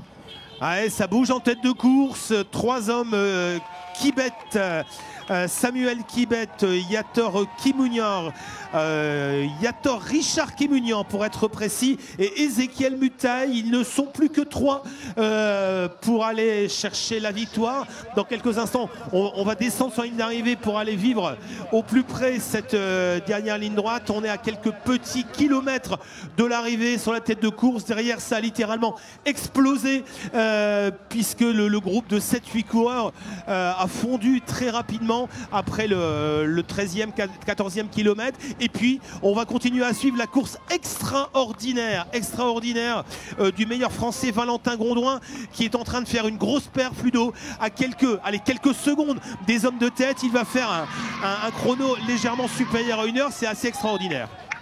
Ouais, Patrice, effectivement, et Valentin euh, qui vient de rattraper euh, effectivement des athlètes lâchés euh, de ce groupe de tête. On le disait, hein, ça va lui faire un point d'appui. Il va pouvoir évidemment se mesurer avec ses athlètes. Il est en train de remonter bien le, le groupe. Alors, il- je le vois assez loin maintenant parce que il y a beaucoup, beaucoup de monde. Les coureurs de tête sont encouragés par les 8500 coureurs. Euh, on est en train de les, doubler. C'est très bien fait parce qu'il y a un couloir pour euh, les coureurs qui sont dans le premier tour et un couloir pour les coureurs qui sont dans le deuxième tour. Voilà, donc euh, toujours pas de changement. Euh, en tête, c'est Samuel Kibet qui reprend les commandes maintenant. Il se relaie un petit peu plus, mais euh, c'est, j'ai pas envie de dire un train de sénateur pour eux, mais ils sont en train de maîtriser évidemment euh, la fin de parcours. Et je pense qu'on va avoir un dernier kilomètre boulevard de la Liberté qui va être exceptionnel pour ces coureurs de tête. Voilà, on retrouve ces trois hommes de tête. Un petit point sur celui qui va remporter un de ces trois coureurs. Euh, cette édition euh, 2024 du semi-marathon de Lille. Samuel Kibet, on vous le disait, vainqueur à Marseille-Cassis. C'est son premier semi-marathon à Samuel Kibet. Il porte le 257, c'est le maillot bleu. On retrouve dans ce groupe de tête également Ezekiel euh, Mutaï, l'athlète euh, ougandais, l'autre athlète ougandais. Premier semi également avec un record personnel. C'était au mois de novembre dernier sur le, le 10 km ici à Lille en 28,06. Et euh, le troisième larron, le troisième coureur en tête, c'est Yator, Richard Yator euh, Kimounian. Euh, lui, il connaît le semi-marathon avec un record personnel de 59 minutes et 37 secondes.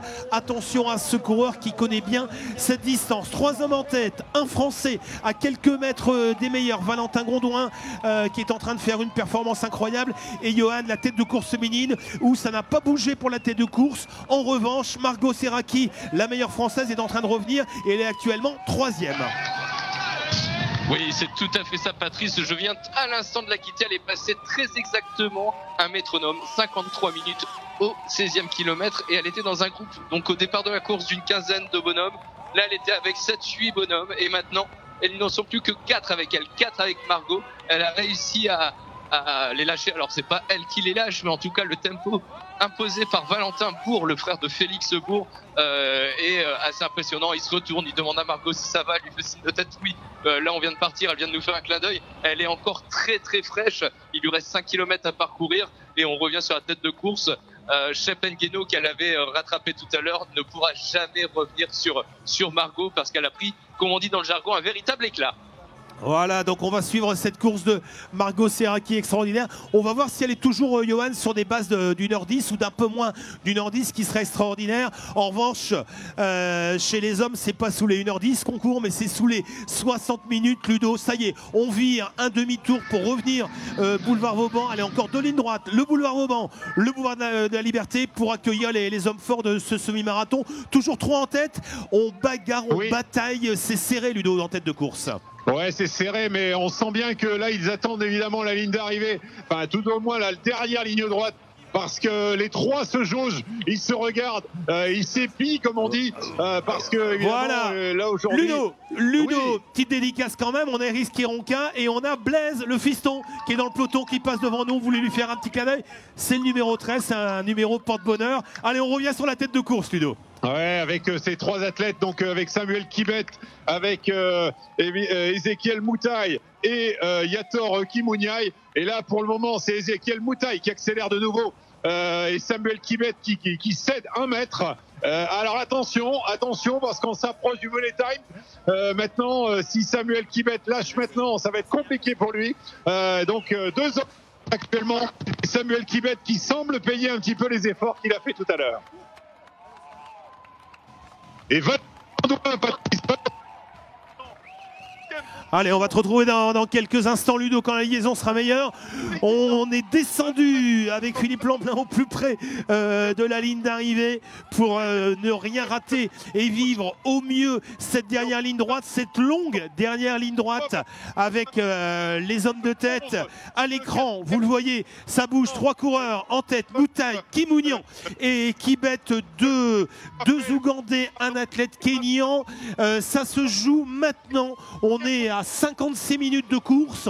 On espère toujours descendre sous l'heure de course. C'est possible. Et amis spectateurs, vous êtes nombreux. Amis coureurs, vous êtes nombreux aussi. On a les, coureurs anonymes là, de ce semi-marathon qui passent devant nous. Faites-nous un petit signe sur le podium. Voilà, en passant devant nous. Allez, on vous donne de l'énergie. On monte un peu le son. Quentin pour accompagner ces coureurs au cœur du peloton. Et on retrouve dans quelques secondes la tête de course.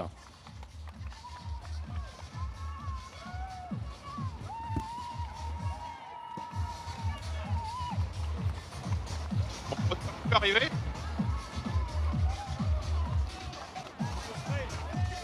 Est-ce qu'on reçoit l'arrivée? Oh putain, pas mettre. Allô?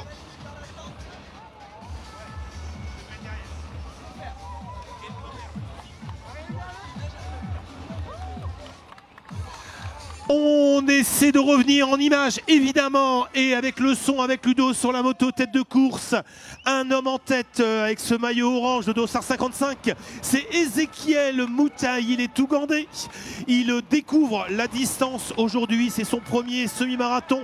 Il connaît euh, les rues de, Lille puisqu'il avait participé euh, l'an dernier lors de l'Urban Trail aux 10 km où il avait battu son record personnel. Aujourd'hui, il revient sur la distance supérieure, semi-marathon, et c'est lui qui est en train euh, de tout faire, de faire le forcing, d'augmenter encore euh, la cadence dans les derniers kilomètres pour aller chercher une victoire. Attention, rien n'est joué puisque derrière, vous voyez, on est à peine à quelques petits mètres euh, les uns des autres. On retrouve en, deuxième position Richard Yator Kimunian, l'athlète kényan, même couleur mais autre pays, le Kenya. Et en troisième position, Samuel Kibet qui a tout fait pour lâcher ses camarades d'échappée, j'allais dire, avant le, dernier kilomètre, mais qui n'y a pas réussi. Ça y est, ils sont euh, devant France 3, ils sont au début du boulevard de la Liberté, arrivés dans quelques instants. Amis spectateurs, on va avoir besoin de vous, évidemment, et on compte sur vous pour euh, encourager les coureurs dans les derniers hectomètres.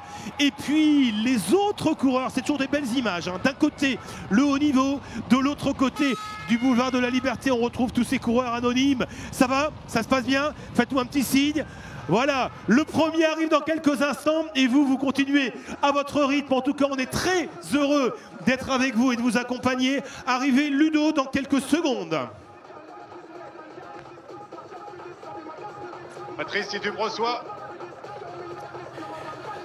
Allez, en image, 59 minutes de course avec euh, celui qui va remporter euh, cette première épreuve de la matinée, le semi-marathon international de Lille, avec une belle bagarre entre trois coureurs qui euh, essaient de se départager dans les derniers mètres. Vous le voyez à l'image, à l'écran, avec euh, son maillot orange, Ezekiel Moutaï, le coureur euh, ougandais qui a attendu son heure, qui a laissé faire, qui était très longtemps euh, bien au chaud dans le petit groupe de tête. Ils étaient 8, puis 7, puis 4. Et c'est lui qui est en train de s'envoler vers la victoire. Ludo peut-être.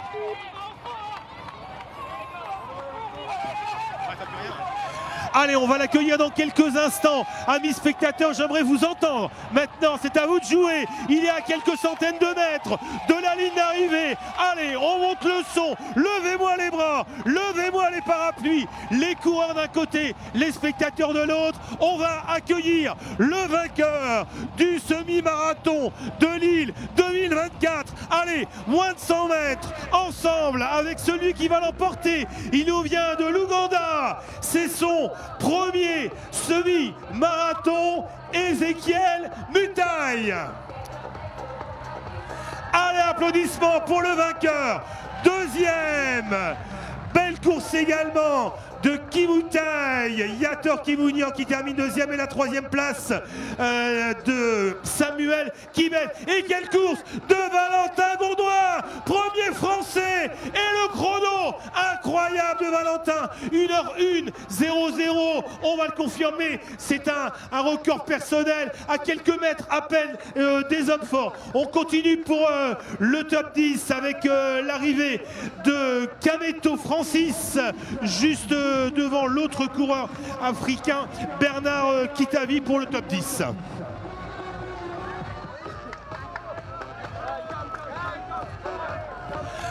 On va retrouver Valentin Gondouin dans quelques instants. On va laisser euh, évidemment les coureurs euh, euh, récupérer.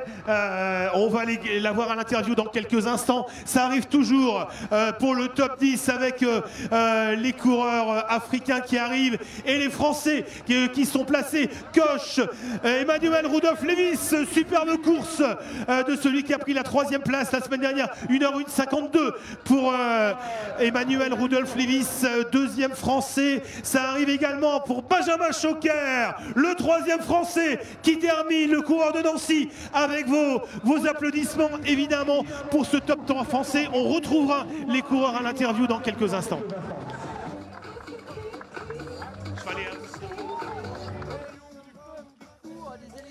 Ouais, alors des images, on le disait avec Philippe à mes côtés, président de la Ligue. C'est chouette ces images. Une perspective de plusieurs kilomètres dans le voir de la liberté qui sont, allez, les Champs-Élysées lillois. D'un côté, les anonymes et un peloton énorme, et puis les meilleurs de l'autre côté. Qui est-ce qui a dit que les gens ne voulaient pas faire du sport en France? Il suffit d'en donner l'occasion. Regardez, vous êtes 13 000 à courir pour votre plaisir au milieu des meilleurs du monde. Voilà, exactement. Ils auraient pu être 15 000, 16 000. Ça fait deux mois qu'il n'y a plus de dossard à retirer pour euh, participer aux, trois épreuves. Allez, on se retrouve ligne d'arrivée avec euh, une interview, un show avec les meilleurs Français. Euh, Valentin Gondouin euh, qui va venir à, nos côtés pour nous parler de, cette course extraordinaire. Emmanuel, peut-être aussi, voilà, juste à côté de nous, Emmanuel, si tu veux bien, et, et Benjamin Choquer. Allez, un petit mot, les garçons.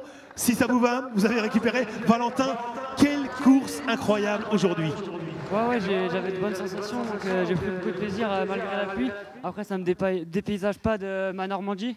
On connaît bien la pluie, donc ça m'a pas trop, ça m'a pas trop gêné. Donc, euh, mais c'était une, une superbe course. Alors, j'ai pas le chrono officiel, mais c'est un record personnel pour toi aujourd'hui. Ouais, ouais, c'est un record. J'attends de savoir si ça va être sous les 1h1 ou 1h1.00.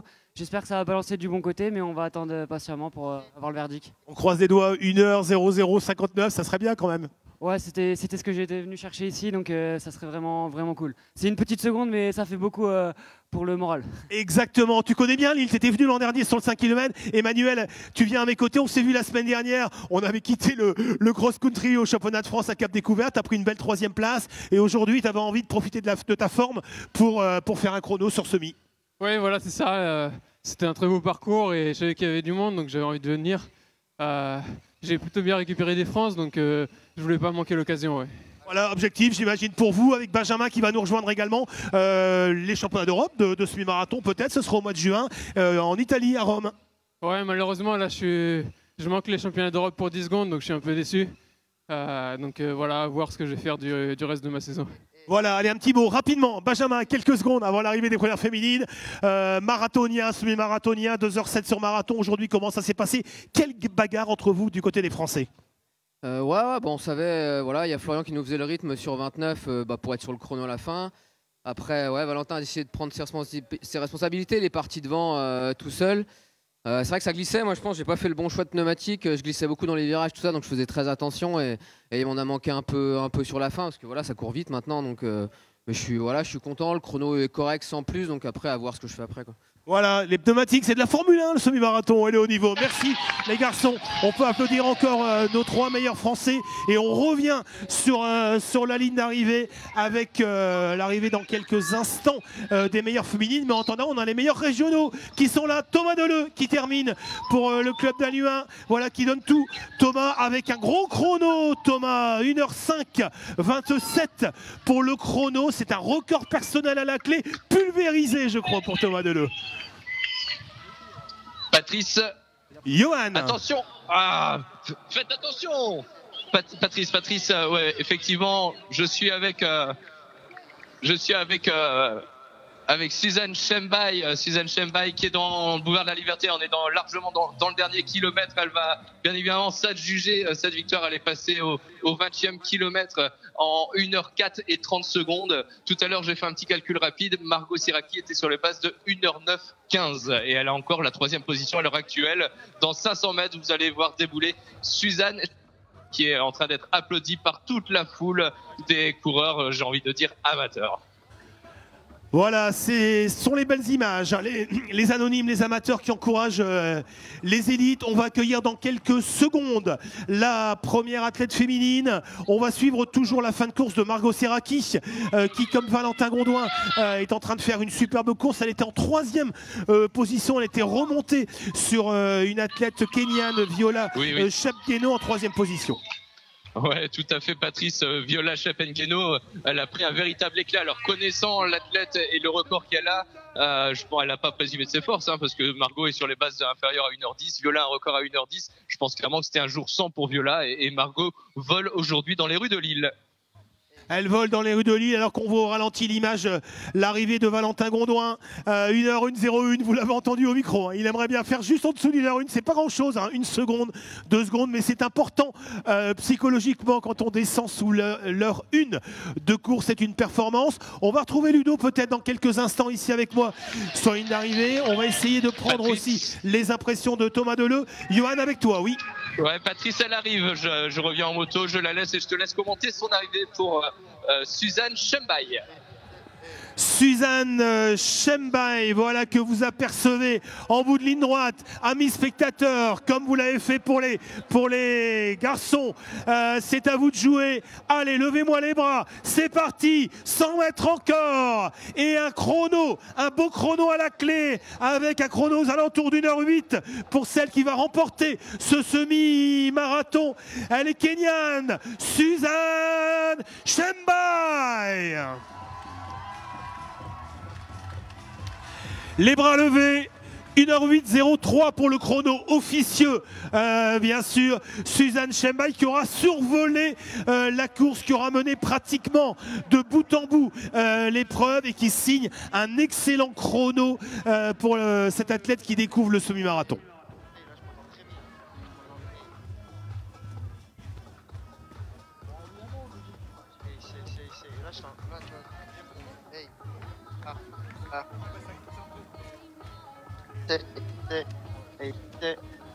Euh, alors bonjour et Ça arrive toujours, vous le voyez avec euh, des coureurs qui, profitent euh, aujourd'hui de, de ce magnifique parcours pour aller chercher un chrono. On vous le disait, on va suivre de près l'arrivée et compléter le podium féminin. On est toujours sur des bases d'une heure neuf sur la ligne d'arrivée.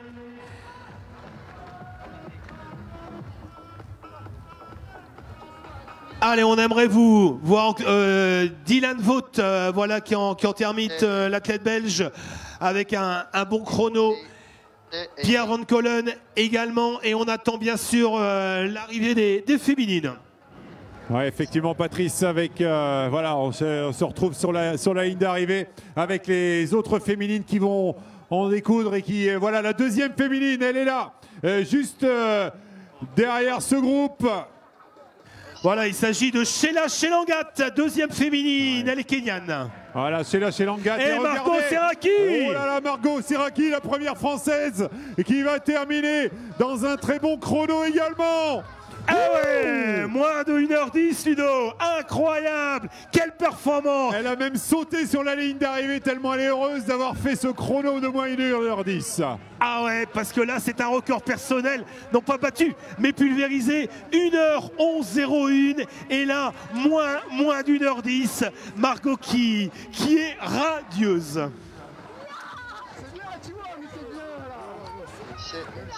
Voilà Margot qu'on aura dans, au micro dans quelques instants évidemment pour euh, ses premières impressions mais en tous les cas elle est heureuse ici sur la ligne d'arrivée.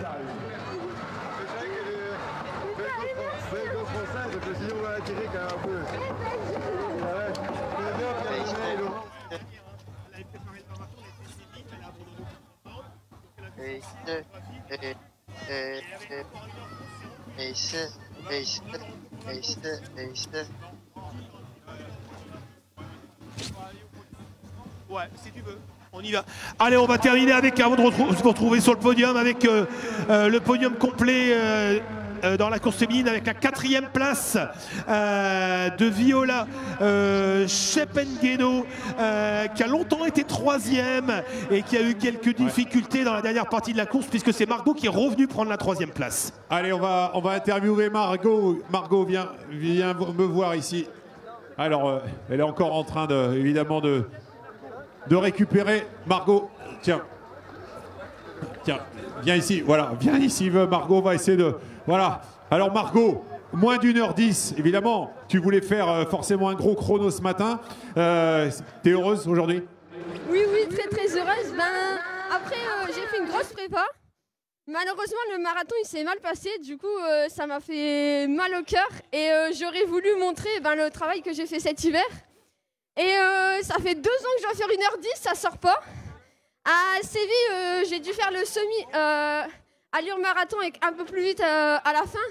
D'où que je passe de 1h11 à 1h09 parce que la fois dernière j'ai fait un semi, puis l'après-midi j'avais fait un gros 10. Donc là, euh, enfin, quand je le fais à fond, euh, ça fait plaisir. Mais surtout, je remercie Ludovic Bourg de m'avoir amené sur un fauteuil. Voilà. et alors, cross court, championne de France de cross court la semaine dernière. C'est pas tout à fait la même discipline. Il y avait beaucoup de boue, ok. Mais comment tu as fait pour récupérer aussi bien et être aussi forte aujourd'hui? Ben, on va dire que je remercie ben, les kinés qui m'accompagnent euh, pour euh, me permettre de bien récupérer. Et ben, il faut faire euh, vélo, footing et tourner les jambes. Voilà. et alors maintenant, le- la suite de la saison, comment elle va se présenter pour toi? Euh, alors, je pars soit sur 5000, soit sur 10 000. Je- J'attends euh, Ria de savoir euh, ce que je vais faire. Effectivement. Petite- Voilà. Bon, voilà, on peut la euh, féliciter évidemment. Bravo Margot, on te retrouvera sur le podium dans quelques minutes, bien sûr. Et je voulais remercier euh, Jean-Pierre Wartel pour euh, l'organisation aussi. Voilà, effectivement, Margot, donc euh, qui a été longtemps licenciée euh, dans la région et qui est maintenant licenciée à Pays de Fontainebleau, et voilà, qui a réalisé une très grosse performance ce matin.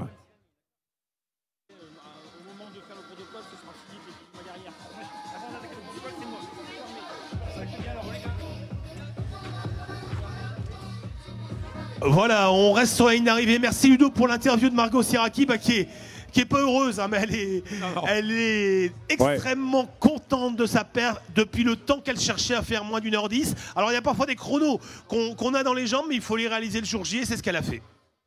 Ouais, effectivement. Et puis, comme elle le disait, après, euh, bon, elle va voir pour euh, la suite de la saison, mais là, elle a quand même bien géré avec euh, tout son staff, comme elle euh, l'a rappelé, parce que c'est important. Tous ces athlètes, évidemment, ils ont tout un staff médical aussi euh, pour, évidemment, se permettre de se régénérer quand on fait des, grosses performances. Et puis, le championnat de France de cross qui était quand même un peu boueux, Patrice, effectivement, ça devait faire mal aux jambes quand même.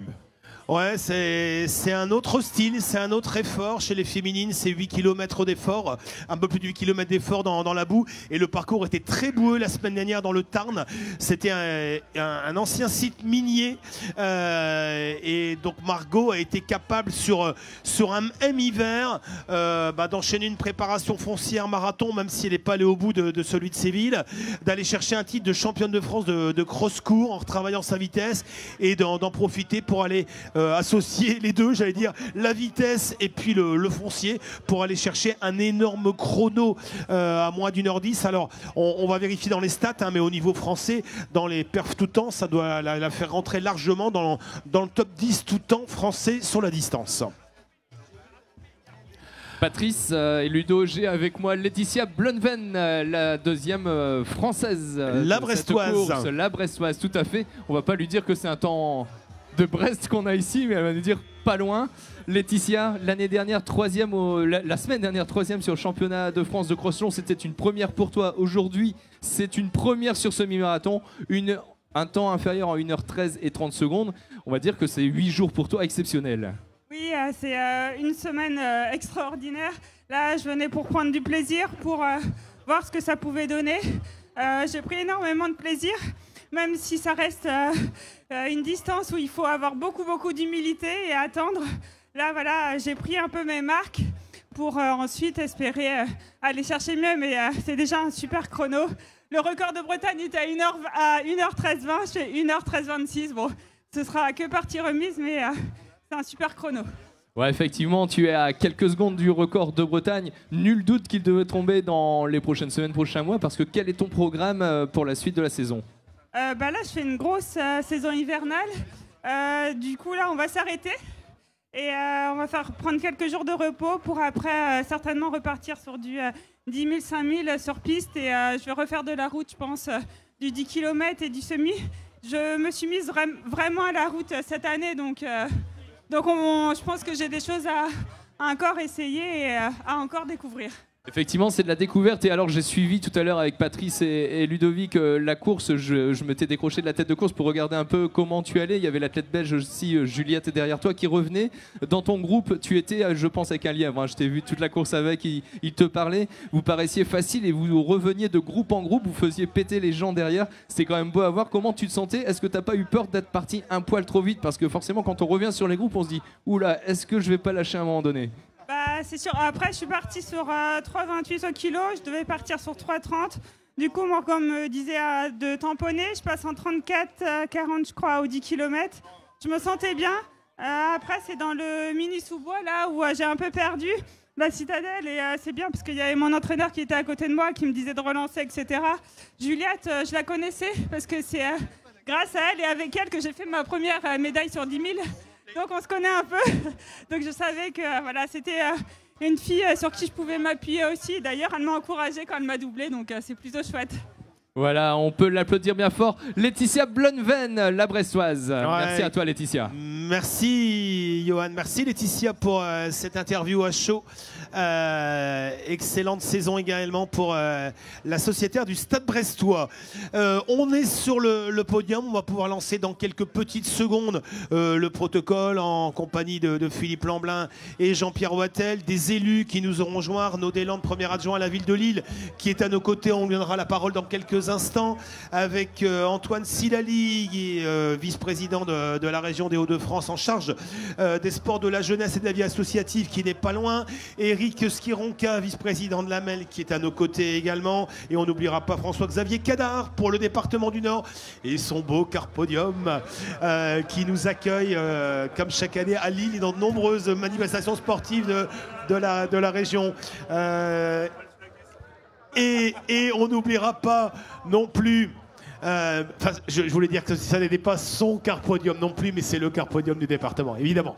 Euh, et en tout cas, on, va pouvoir accueillir dans quelques instants les podiums des, meilleurs euh, coureurs, les trois premiers hommes-femmes, les trois premiers français et les trois premiers régionaux. On a le temps, le, top pour lancer le, le, le protocole.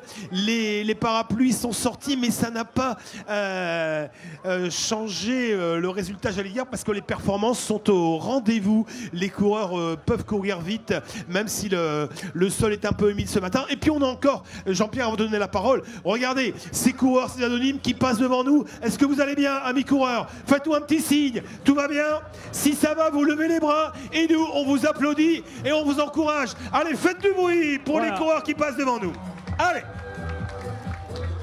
Oui, alors, avant de commencer la remise à récompense, ce qui était fantastique, c'est que les premiers participants ont rattrapé les coureurs à 4 km de l'arrivée. Et pendant 4 km, c'est des encouragements incessants. Ah, c'est vraiment euh, une, vraie, liesse populaire. Je vais te laisser euh, attaquer euh, le temps protocolaire. Je vais récupérer les résultats et on remet la récompense après les interventions des différentes personnalités. Voilà, on va commencer cela sans, sans tarder parce que ça n'est pas terminé. On aura encore bien sûr le 5 km qui partira à 11h15 et le 10 km. Restez pour le 10 km. Restez, vous allez avoir du spectacle comme on a eu un certain Jimmy Gressier revient de stage. Ça va aller vite, Ludo. Ce sera à 12h15. Allez, un- Ludo, Ah oui, oui. effectivement, avec euh, donc le, le point d'orgue, euh, évidemment, avec ce 10 km qui partira à 12h15, hein, comme tu l'as dit, avec euh, Jimmy, qui nous fait le grand plaisir, évidemment, euh, de- d'être aujourd'hui euh, parmi nous. Voilà. La météo va s'améliorer au fil de la matinée. Soyez-en certains, on, a- l'a commandé. On l'a eu la pluie un petit peu plus vite que prévu. Floriane a tout bien préparé, sauf ça, elle n'a pas pu maîtriser. Donc il faut bien qu'il y ait quand même quelque chose à dire aujourd'hui, parce que sinon tout est parfait évidemment. Et puis euh, donc euh, voilà, tous ces coureurs qui sont en train de, de repasser pour euh, leur deuxième boucle, ceux qui arrivent pour l'arrivée et ceux qui sont en train de terminer aussi euh, le premier passage. Donc euh, voilà, tout est bien dans cette organisation et on est sur le podium. On attend évidemment les résultats dans quelques instants. Patrice. Voilà, le temps que les résultats arrivent, on va avoir le, le temps d'échanger avec les, les élus, de, de prendre la parole. On va commencer par Arnaud Deslandes, premier adjoint à la ville de Lille. Martine Aubry est encore avec nous il y a quelques instants. Elle était au départ euh, ce matin. Euh, Lille et le semi-marathon, le marathon, c'est une longue histoire d'amour. On remonte à, à la braderie. On a ensuite, on a ensuite euh, eu les courses sur, sur le, le Grand Boulevard. On est revenu depuis trois ans dans le centre-ville. C'est une belle histoire en tout cas. Et les coureurs répondent présents, répondent très nombreux encore aujourd'hui. Un formidable euh, succès populaire, en tout cas, voilà, euh, 8000 pour le semi-marathon, 5000 pour les autres courses. On est très heureux euh, d'avoir euh, un tel engouement sur les courses euh, du semi-marathon. Heureux d'avoir dans l'île à nouveau cette épreuve depuis trois ans. On l'a dit. Alors, pas de, pas de record aujourd'hui, mais euh, le temps ne permettait pas forcément. Mais en tout cas, toujours une belle ambiance, une belle performance. Les, athlètes africains euh, nous ont encore fait euh, plaisir, nous ont fait rêver sur leur capacité à porter cette course. Donc on est très très heureux et encore une fois vivement l'année prochaine finalement pour le prochain semi-marathon à Lille dans les mêmes, mêmes conditions dans Lille. Voilà, c'est un vrai bonheur pour nous. Voilà, merci Arnaud Deslandes. Alors un record, on en a battu un quand même aujourd'hui, celui du nombre de participants. On, est, on a commencé il y a deux ans, à- trois ans à, à 4000, puis 9000 en y 12 000, ça aurait pu être beaucoup plus. Il y a deux mois, euh, ça fait depuis deux mois, on a, plus de dossards à retirer, ça pourrait être 15 000 plus. On va, revenir sur des chiffres qu'on a connus à l'époque de, la braderie au mois de septembre. Merci beaucoup pour ces quelques mots. Antoine Silali est à ma droite, euh, vice-président à la région des Hauts-de-France, en charge des sports, de la jeunesse et de la vie Euh, un petit mot sur euh, votre présence aujourd'hui. C'est une première en tant qu'élu aujourd'hui. C'est un peu votre baptême. Tout à fait, et quel baptême parce que c'est une course euh, extraordinaire, c'est un événement magnifique et je remercie vraiment la Ligue pour organiser un événement du- d'une telle ampleur. Parce que vous savez, le sport, c'est le sport professionnel, c'est le sport de haut niveau et cet événement y répond, mais c'est aussi le sport amateur. Et je connais pas d'autres disciplines, on a à la fois des amateurs, des grands champions qui courent ensemble, qui courent autour de très belles valeurs. Alors cet événement, il fait rayonner le sport, mais il fait rayonner aussi toutes les valeurs du sport. Alors bravo à l'organisation et à l'année prochaine. Alors, merci, merci à vous. Euh, on a des petites surprises, on a des petites infos, nous forcément off. Philippe, euh, on a un anniversaire aujourd'hui. Oui, alors, monsieur le vice-président, c'est le plus jeune du monde, hein. 30 ans il y a 3 jours. Alors il m'a fait une promesse. 33, bon, c'est encore, c'est pareil. Il nous a fait une promesse. L'année prochaine, il vient courir. Alors au nom de toute l'organisation, petit cadeau, faut le mettre tout de suite, mon vieux. Obligé. Voilà, la casquette des Jeux Olympiques, parce que la région et d'autres. Voilà, et j'en profite aussi. Me- Merci beaucoup. Pour remercier, vous pouvez l'applaudir. S'il n'y avait pas les services municipaux qui, depuis des jours et des jours, sont, ils sont tous là, ils sont en jaune, eh ben jamais on n'aurait pu faire courir 13 000 personnes aujourd'hui. À bientôt. Voilà, merci Ouais. Philippe Lamblin, oui, Ludo, président Ouais, de la- effectivement, Ligue. et quand euh, Floriane a le sourire, c'est que ça se passe bien. Parce que sinon, normalement, euh, elle est un petit peu plus tendue que ça. Donc c'est parfait. Voilà, des coureurs encore, Patrice. On est à 1h24 seulement depuis l'arrivée. Donc des coureurs qui sont déjà en, effectivement, euh, en train d'arriver. Et on enchaîne avec le protocole. Allez, on termine ce temps protocolaire avec les prises de parole. Iris Kironka, vice-président euh, de l'AMEL. euh, L'AMEL qui vibre au rythme des événements sportifs de haut niveau. Euh, le rugby, c'était récemment. Les Jeux Olympiques, évidemment, on parlera basket handball. Et aujourd'hui, ben, on court dans les rues de Lille. Alors on court aujourd'hui dans les rues de Lille et puis euh, l'ensemble des partenaires, on est là sur le beau car podium du département du Nord, ensemble pour cette belle organisation. On ne et puis plus. euh, on attend aussi la finale de la Coupe de France le 25 mai. Voilà, le grand départ de Tours en 2025. On enchaîne l'ensemble des événements. Un grand chapeau à tous les bénévoles qui, euh, qui arrivent à, à faire que cet événement soit un événement incroyable. Merci beaucoup.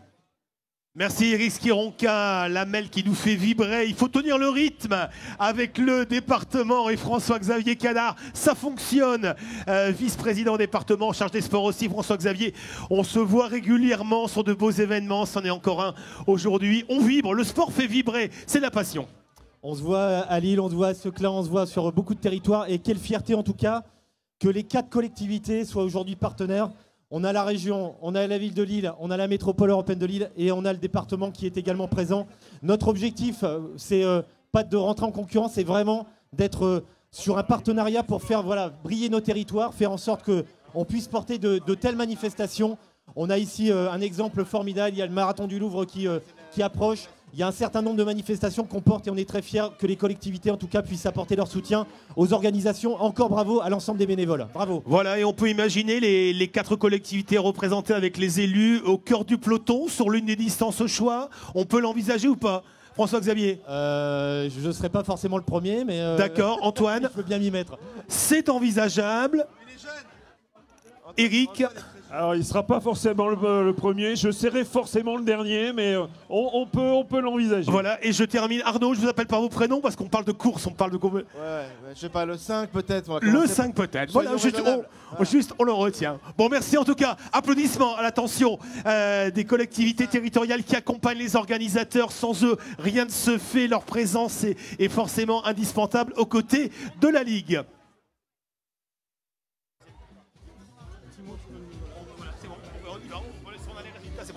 Voilà, dans quelques secondes, les résultats sont arrivés. On va pouvoir lancer le, le protocole. C'est le podium homme-femme du classement Scratch d'abord.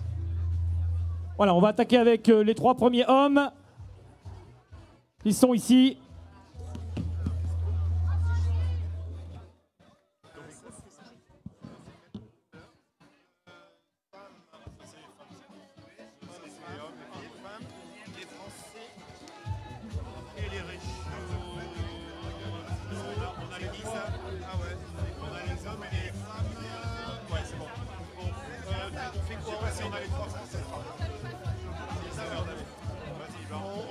Femme chacun.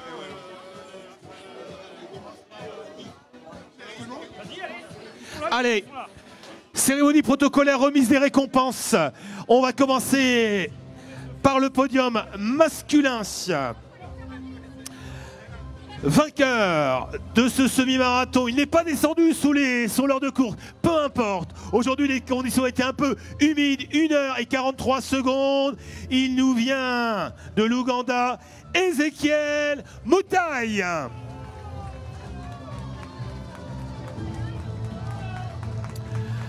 Deuxième, à quelques petites secondes, 1 heure et 47 secondes. Il est Kenyan, Richard Yator Kimounian.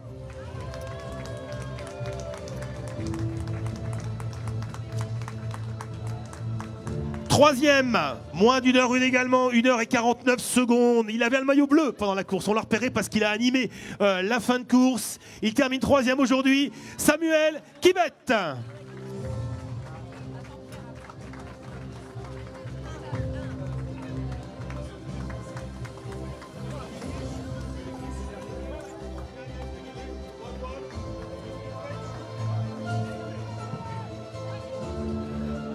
Allez, la, la photo avec ce podium, juste un petit mot avec le vainqueur.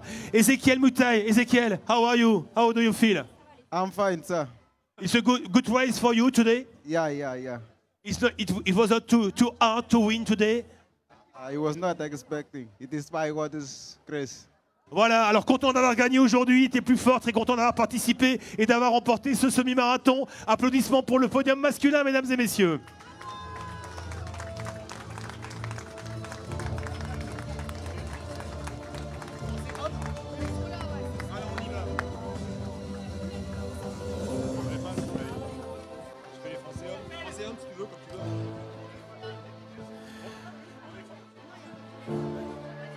Thank, you very much, merci beaucoup. Voilà, et pour accompagner ce podium, nous allons appeler les trois premiers Français. Avec celui qui remporte, chez les Français en tout cas, il réalise 1 heure 00 59 centièmes. Valentin Gandouin. Allez, un tonnerre d'applaudissements pour il va Valentin. chercher moins d'une heure une. 1 heure 00 59. Il termine quatrième de la course. Le deuxième, 1 heure 1 minute et 51 secondes, Emmanuel Rudolph Lévis. Et le troisième, 1 heure 2 minutes et 6 secondes, Benjamin Choquer.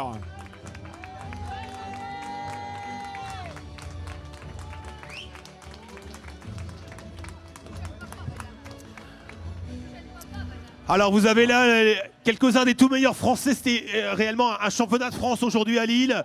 Ils ont tous dans leur euh, catégorie, dans leur distance respective, des titres de champion de France. Ils sont tous les trois internationaux. Et aujourd'hui, ils nous ont livré au cœur de, de la course une très belle bataille. Ouais, très belle bataille. Allez, juste un petit mot avec Valentin. Tout à l'heure, tu voulais absolument moins d'une heure une. C'est fait.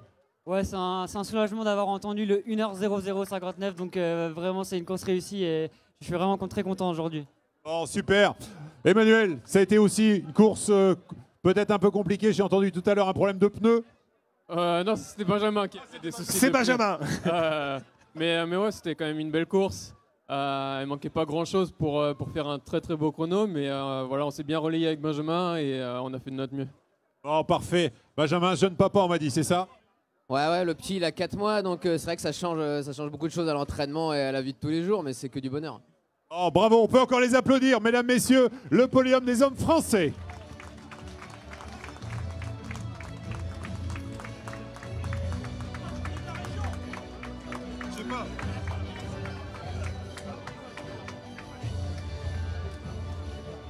Et on va appeler les trois premiers régionaux, Patrice, maintenant.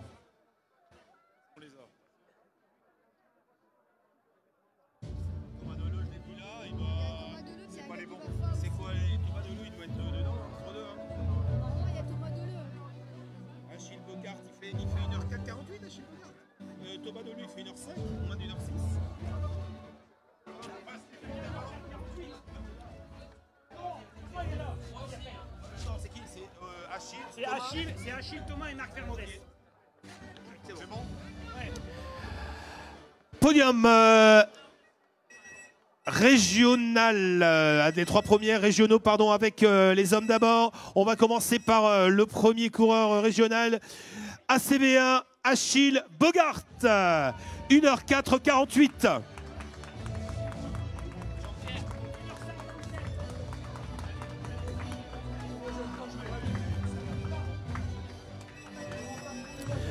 Deuxième régional, record personnel évidemment. Il va avoir un large sourire. 1 heure 5 minutes et 27 secondes du club d'Aluin. Allez, Thomas Deleu. Et enfin, on va compléter ce podium avec la belle troisième place. Il vient aussi du cross-country la semaine dernière dans la boue. Il avait pris la deuxième place avec son club par équipe sur le cross-court. Les coureurs du, de fond du Cato. 1h6-15, Marc Fernandez.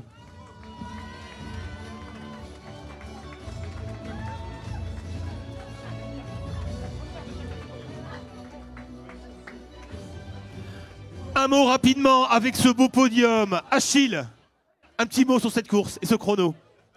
Euh, bah, ça s'est très bien passé. Il y avait un super groupe. Euh, il a plu et dans la Stadelle c'était un peu compliqué. Il fallait relancer, mais euh, c'est solide pour un premier mara- pour un, pour un premier semi-marathon. C'est sympa, on prend. Bah, c'est pas mal, hein, 1h48. Tu, tu espérais ce temps-là ce matin en venant? Euh, franchement non, parce que la semaine dernière j'ai fait les France de cross et je me suis fait exploser. Du coup, euh, je pensais faire un petit 1h06, quelque chose comme ça. J'étais étonné pendant la course. Du coup, bah, bénéf. Bah, tout bénef. Voilà, applaudissements encore pour euh, Achille. Thomas, j'ai dit un large sourire parce que ce chrono-là, il fait vraiment plaisir. Oui, ça faisait un moment que je l'attendais. Comme le chrono sur 10 bornes il y a 2-3 mois, euh, je courais après depuis une bonne dizaine d'années. Euh, là, ça y est, je vois mon record d'une minute 10 aujourd'hui. Donc, euh, l'objectif, c'était moins d'une heure 5 Je pense que je les ai fait. Euh, en tout cas, j'ai serré les dents. Le groupe allait un petit peu vite pour moi. Mais je me suis retourné, je dis, il n'y a personne derrière, donc fallait s'accrocher. C'est ce que j'ai fait. Au 15e, ça devient dur, c'est normal. Et à la fin, j'ai serré les dents pour euh, faire mon record. Voilà, record personnel. Applaudissements pour Thomas Deleu. Allez, Marc.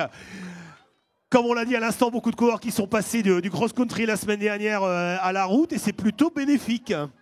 Oui, bah moi j'étais sur le cross-court avec mon équipe. Et euh, c'est vrai que euh, ça m'a bien, ça m'a bien débridé pour le, pour le semi. 1h6-15 1h6-15, oui, c'est ça. Record personnel Record perso, j'étais venu pour une 6-30 environ, donc euh, c'est bien. Voilà, c'est fait. Il y en aura pas mal des records personnels aujourd'hui, je crois. Applaudissements. C'est le podium régional, le podium des trois meilleurs coureurs de la région. Bravo les garçons, bravo. Et on va pouvoir passer Patrice aux féminines cette fois.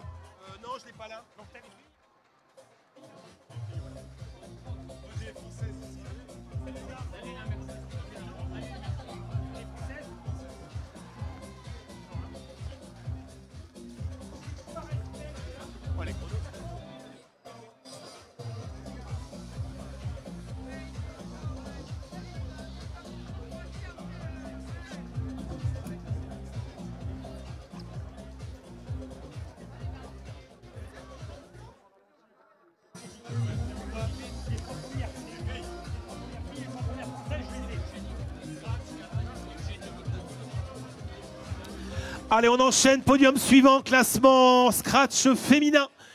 C'est parti.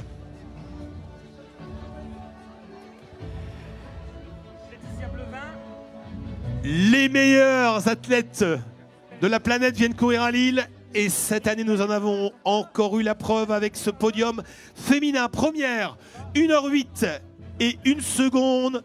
Suzanne Chembaï.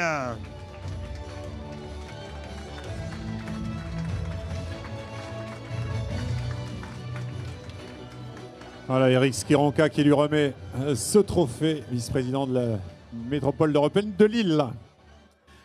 Deuxième du Kenya également, 1h09 et 38 secondes. Sheila Shelangat. Antoine Silali, vice-président à la région des Hauts-de-France, en charge des sports.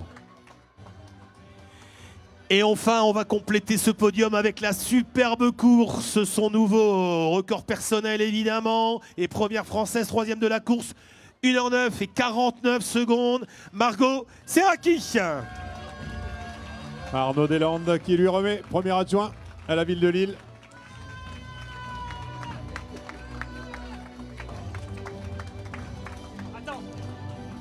Un, deux.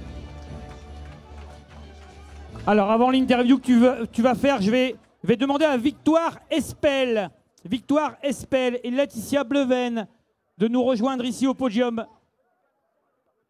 Victoire Espel et Laetitia Bleven. Voilà, allez, on- on- un petit mot rapidement. Suzanne, hello?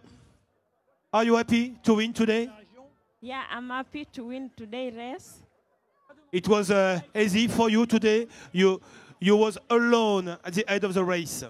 No, it was not easy because it rains. Ok, merci. On va traduire quand même. Je lui demande si elle est très contente de sa course, bien sûr. Je lui ai demandé si c'était facile. Elle a été seule pratiquement du début à la fin. Elle me dit non, ça n'a pas été une course facile. Il pleuvait aujourd'hui, ça a été compliqué, mais elle gagne la course avec un bon chrono, 1h08. Applaudissements pour Suzanne. Chembaï euh, qui l'emporte. Voilà. Margot, on la retrouvera avec les meilleures françaises dans quelques instants. Merci. Thank you very much. See you soon. Ouais. Et on va enchaîner donc effectivement avec euh, les trois premières françaises. Alors, on n'a pas la deuxième, on n'a pas la troisième. Ils sont partis se rhabiller peut-être. Mais par contre, on a les trois premières de la région. Ah bah voilà. On a la deuxième. La troisième.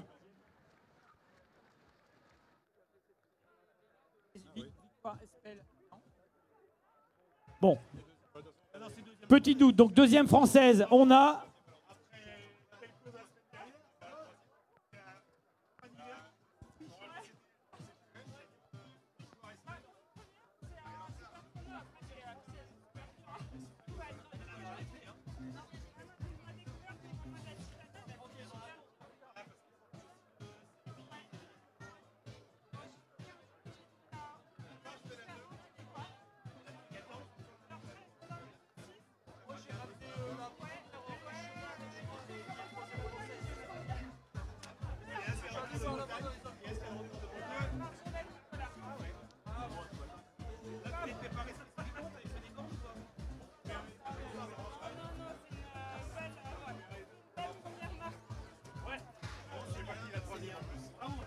Allez, on va passer au podium donc euh, du podium euh, français avec euh, celle qui on- qu'on a vue d'ailleurs sur le scratch. Évidemment, elle termine toujours première française, 1h09 49. Margot Siraki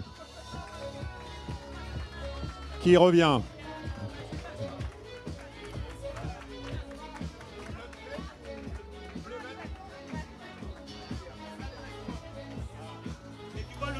La deuxième, 1h13 euh, et 27 secondes du stade brestois, Laetitia Blenven.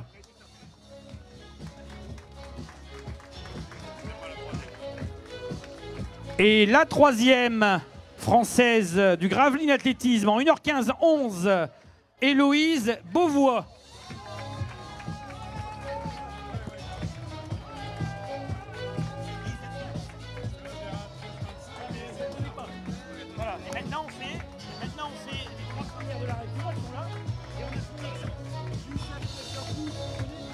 Voilà, on peut les applaudir encore bien fort.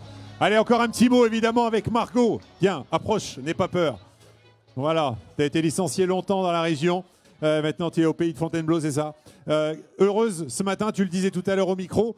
Et tu as. Tu commences à prendre conscience que tu as fait moins d'une heure dix là? Ben, ça fait deux ans que je dois le faire, deux ans que je galère, donc ça sort enfin, donc ça fait vraiment, vraiment très, très plaisir aujourd'hui.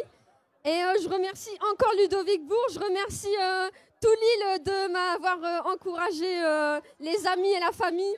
Donc merci beaucoup ben, tout le monde pour l'encouragement, ça m'a vraiment poussé euh, pour euh, ce joli chrono. Bon, bah, on peut l'applaudir effectivement. Margot Siraki, vainqueur aujourd'hui. Qui est chez elle quand même, hein, c'est une, Elle nordiste, même si elle est maintenant dans un club parisien. Voilà, Laetitia, un petit mot. Laetitia, avant de te rhabiller, effectivement, heureuse aussi de ton chrono ce matin Euh, bah oui, oui, très très heureuse. Euh, je suis à, une, à 6 secondes du record de Bretagne, mais pour une euh, première marque, euh, c'est super. 1h13-26, euh, voilà. C'est, pour finir la saison de hivernale qui était euh, une saison euh, assez extraordinaire pour moi. euh, non, c'est vraiment très très bien et c'est de bonnes augures pour la suite. Je pense que j'ai trouvé ma voie, que la route et, et le long, c'est ce qui me va le mieux. Et alors la suite, justement, tu as déjà des objectifs cette saison? Bah, déjà du repos. C'est un bon objectif, effectivement. Et après, euh, du 5000 et du 10 000. Et après, je pense que je vais retenter un, semi-marathon et euh, un 10 km route aussi. Voilà, on peut l'applaudir. Deuxième française ce matin, à 5 secondes du record de Bretagne, Patrice. Ouais, elle le battra, c'est certain, avec une préparation spécifique. Et puis elle a trouvé sa voie. J'aime le long, Laetitia, c'est ce qu'on retiendra euh, de ton interview. Euh, monter sur les longues distances. Et c'est vrai que parfois, on, on se découvre des, des nouvelles ambitions. Voilà, et on va terminer avec les régionales euh, sur semi-marathon avec euh, celle qui était troisième française, Héloïse Beauvois, qu'on va rappeler évidemment. Héloïse, voilà, qu'on peut applaudir 1h15 minutes et 11 secondes. La deuxième du CA Coup de Kerquebranche, 1h18 secondes, 18 minutes pardon, et 13 secondes. Rebecca Lucas. Et la troisième euh, amicale du Val de Somme, euh, Élodie Belêtre. Élodie, voilà, on va la laisser passer parce qu'il y a du monde derrière. Voilà, merci.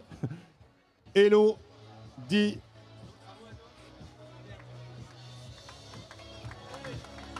Une heure 23 47 pour Élodie.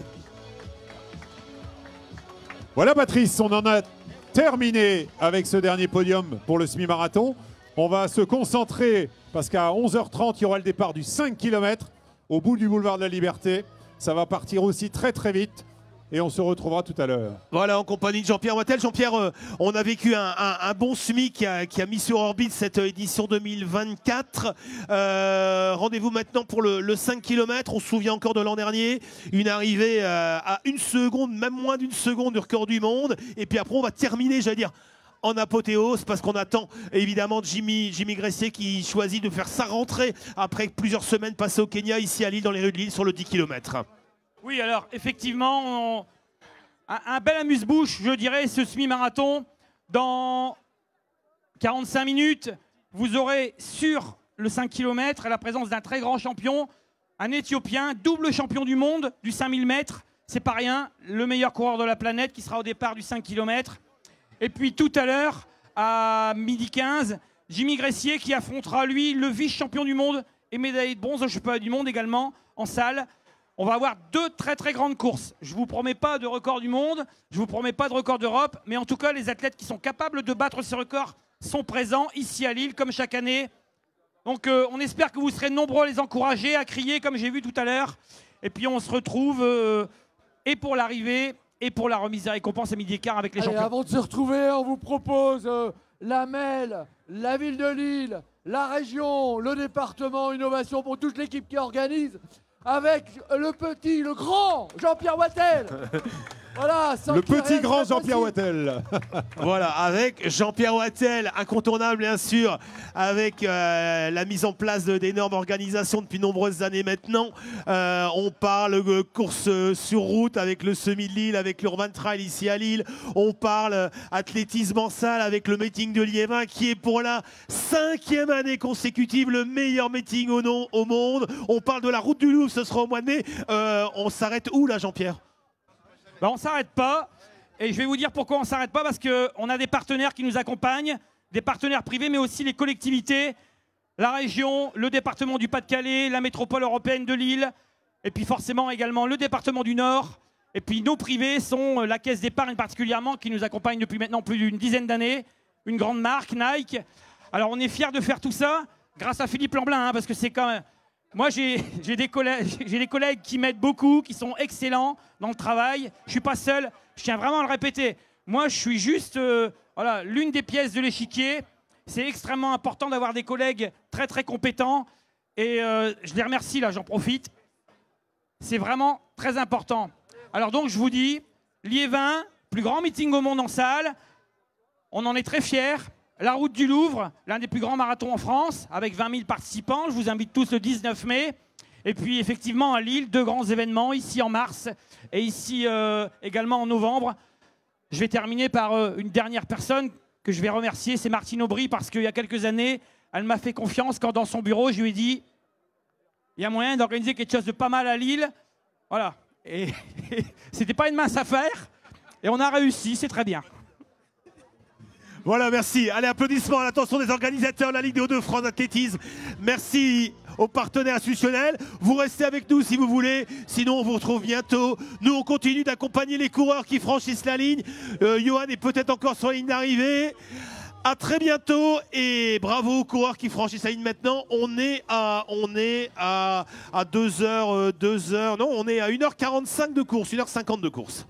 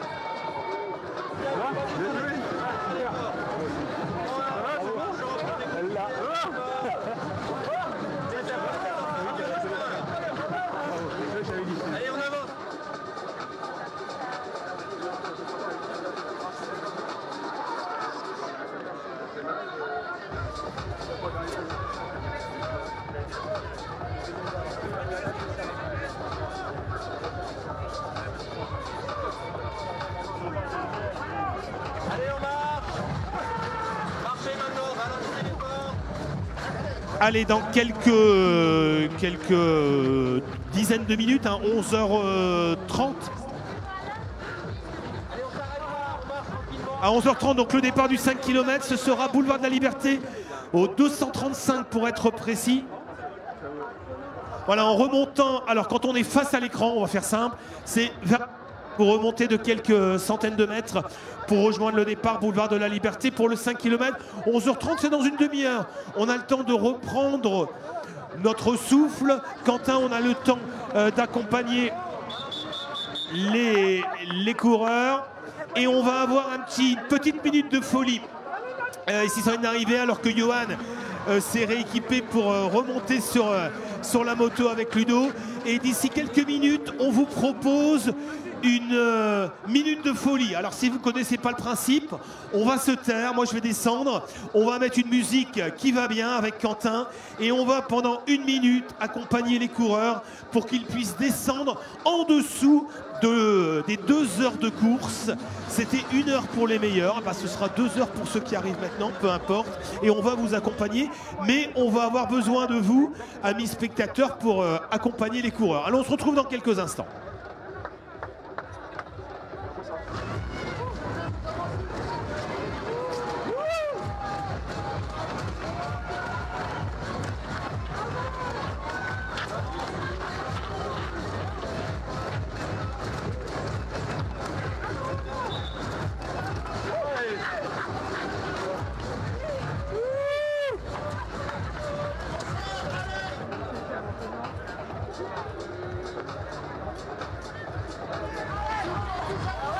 Allez, on est sur la ligne d'arrivée avec ces coureurs qui en terminent, vous le voyez. Il y a un peu de souffrance, il y a des grimaces, ils ont besoin de vos encouragements. Allez, on va accompagner ces coureurs. Allez encore, encore. Regardez cette ligne droite d'arrivée. Nous sommes à deux heures de course et ce boulevard de la liberté est toujours noir de monde, noir de coureurs ici à Lille pour retrouver les rues de Lille. Comme chaque année maintenant, le rendez-vous est pris, c'est au mois de mars. C'est à la fin de l'hiver, c'est au début du printemps. Euh, c'est l'endroit où il faut être si on veut courir, se faire plaisir et bénéficier d'un d'un superbe parcours. Boulevard de la Liberté, boulevard Vauban, boulevard Louis XIV, boulevard Jean-Baptiste euh, Lebas, le tour de la citadelle, évidemment, pour aller chercher une performance et un chrono. Allez, on va, on va dans quelques secondes. Allez, 56 dans deux minutes, Quentin. On va lancer la musique. Euh, amis spectateurs, euh, vous nous entendez? Si vous nous entendez, levez les bras juste pour voir jusqu'où on nous entend. Levez, levez, levez les bras, levez les parapluies, ça va? Alors, on a besoin de vous. Dans une minute, on va monter le son. Je vais me taire et on va hurler, crier, euh, taper des pieds, taper des mains. Euh, les barrières, on peut s'en servir aussi pour encourager les coureurs et les amener à descendre en dessous des deux heures de course. On se retrouve dans une minute.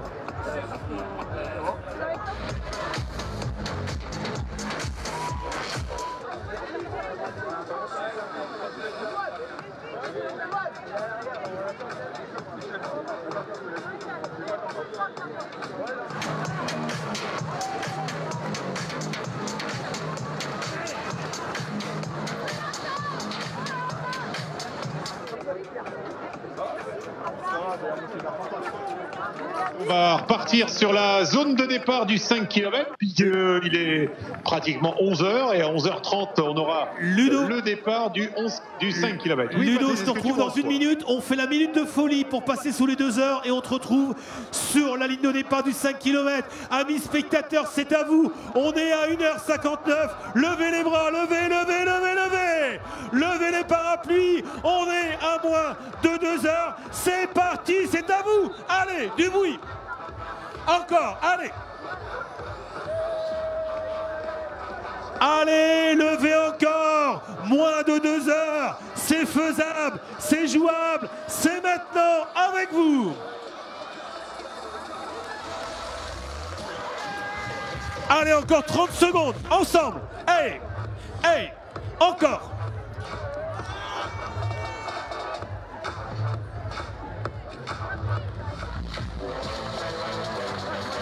Allez, encore quelques secondes. 1h59, 45. Ça va le faire. Moins de 2 heures. C'est maintenant avec vous.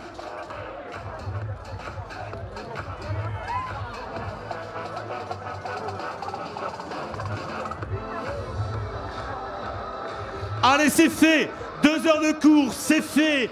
Bravo à ceux qui franchissent la ligne maintenant. Et on reste là, bien sûr, pour accompagner ceux qui sont encore sur le parcours.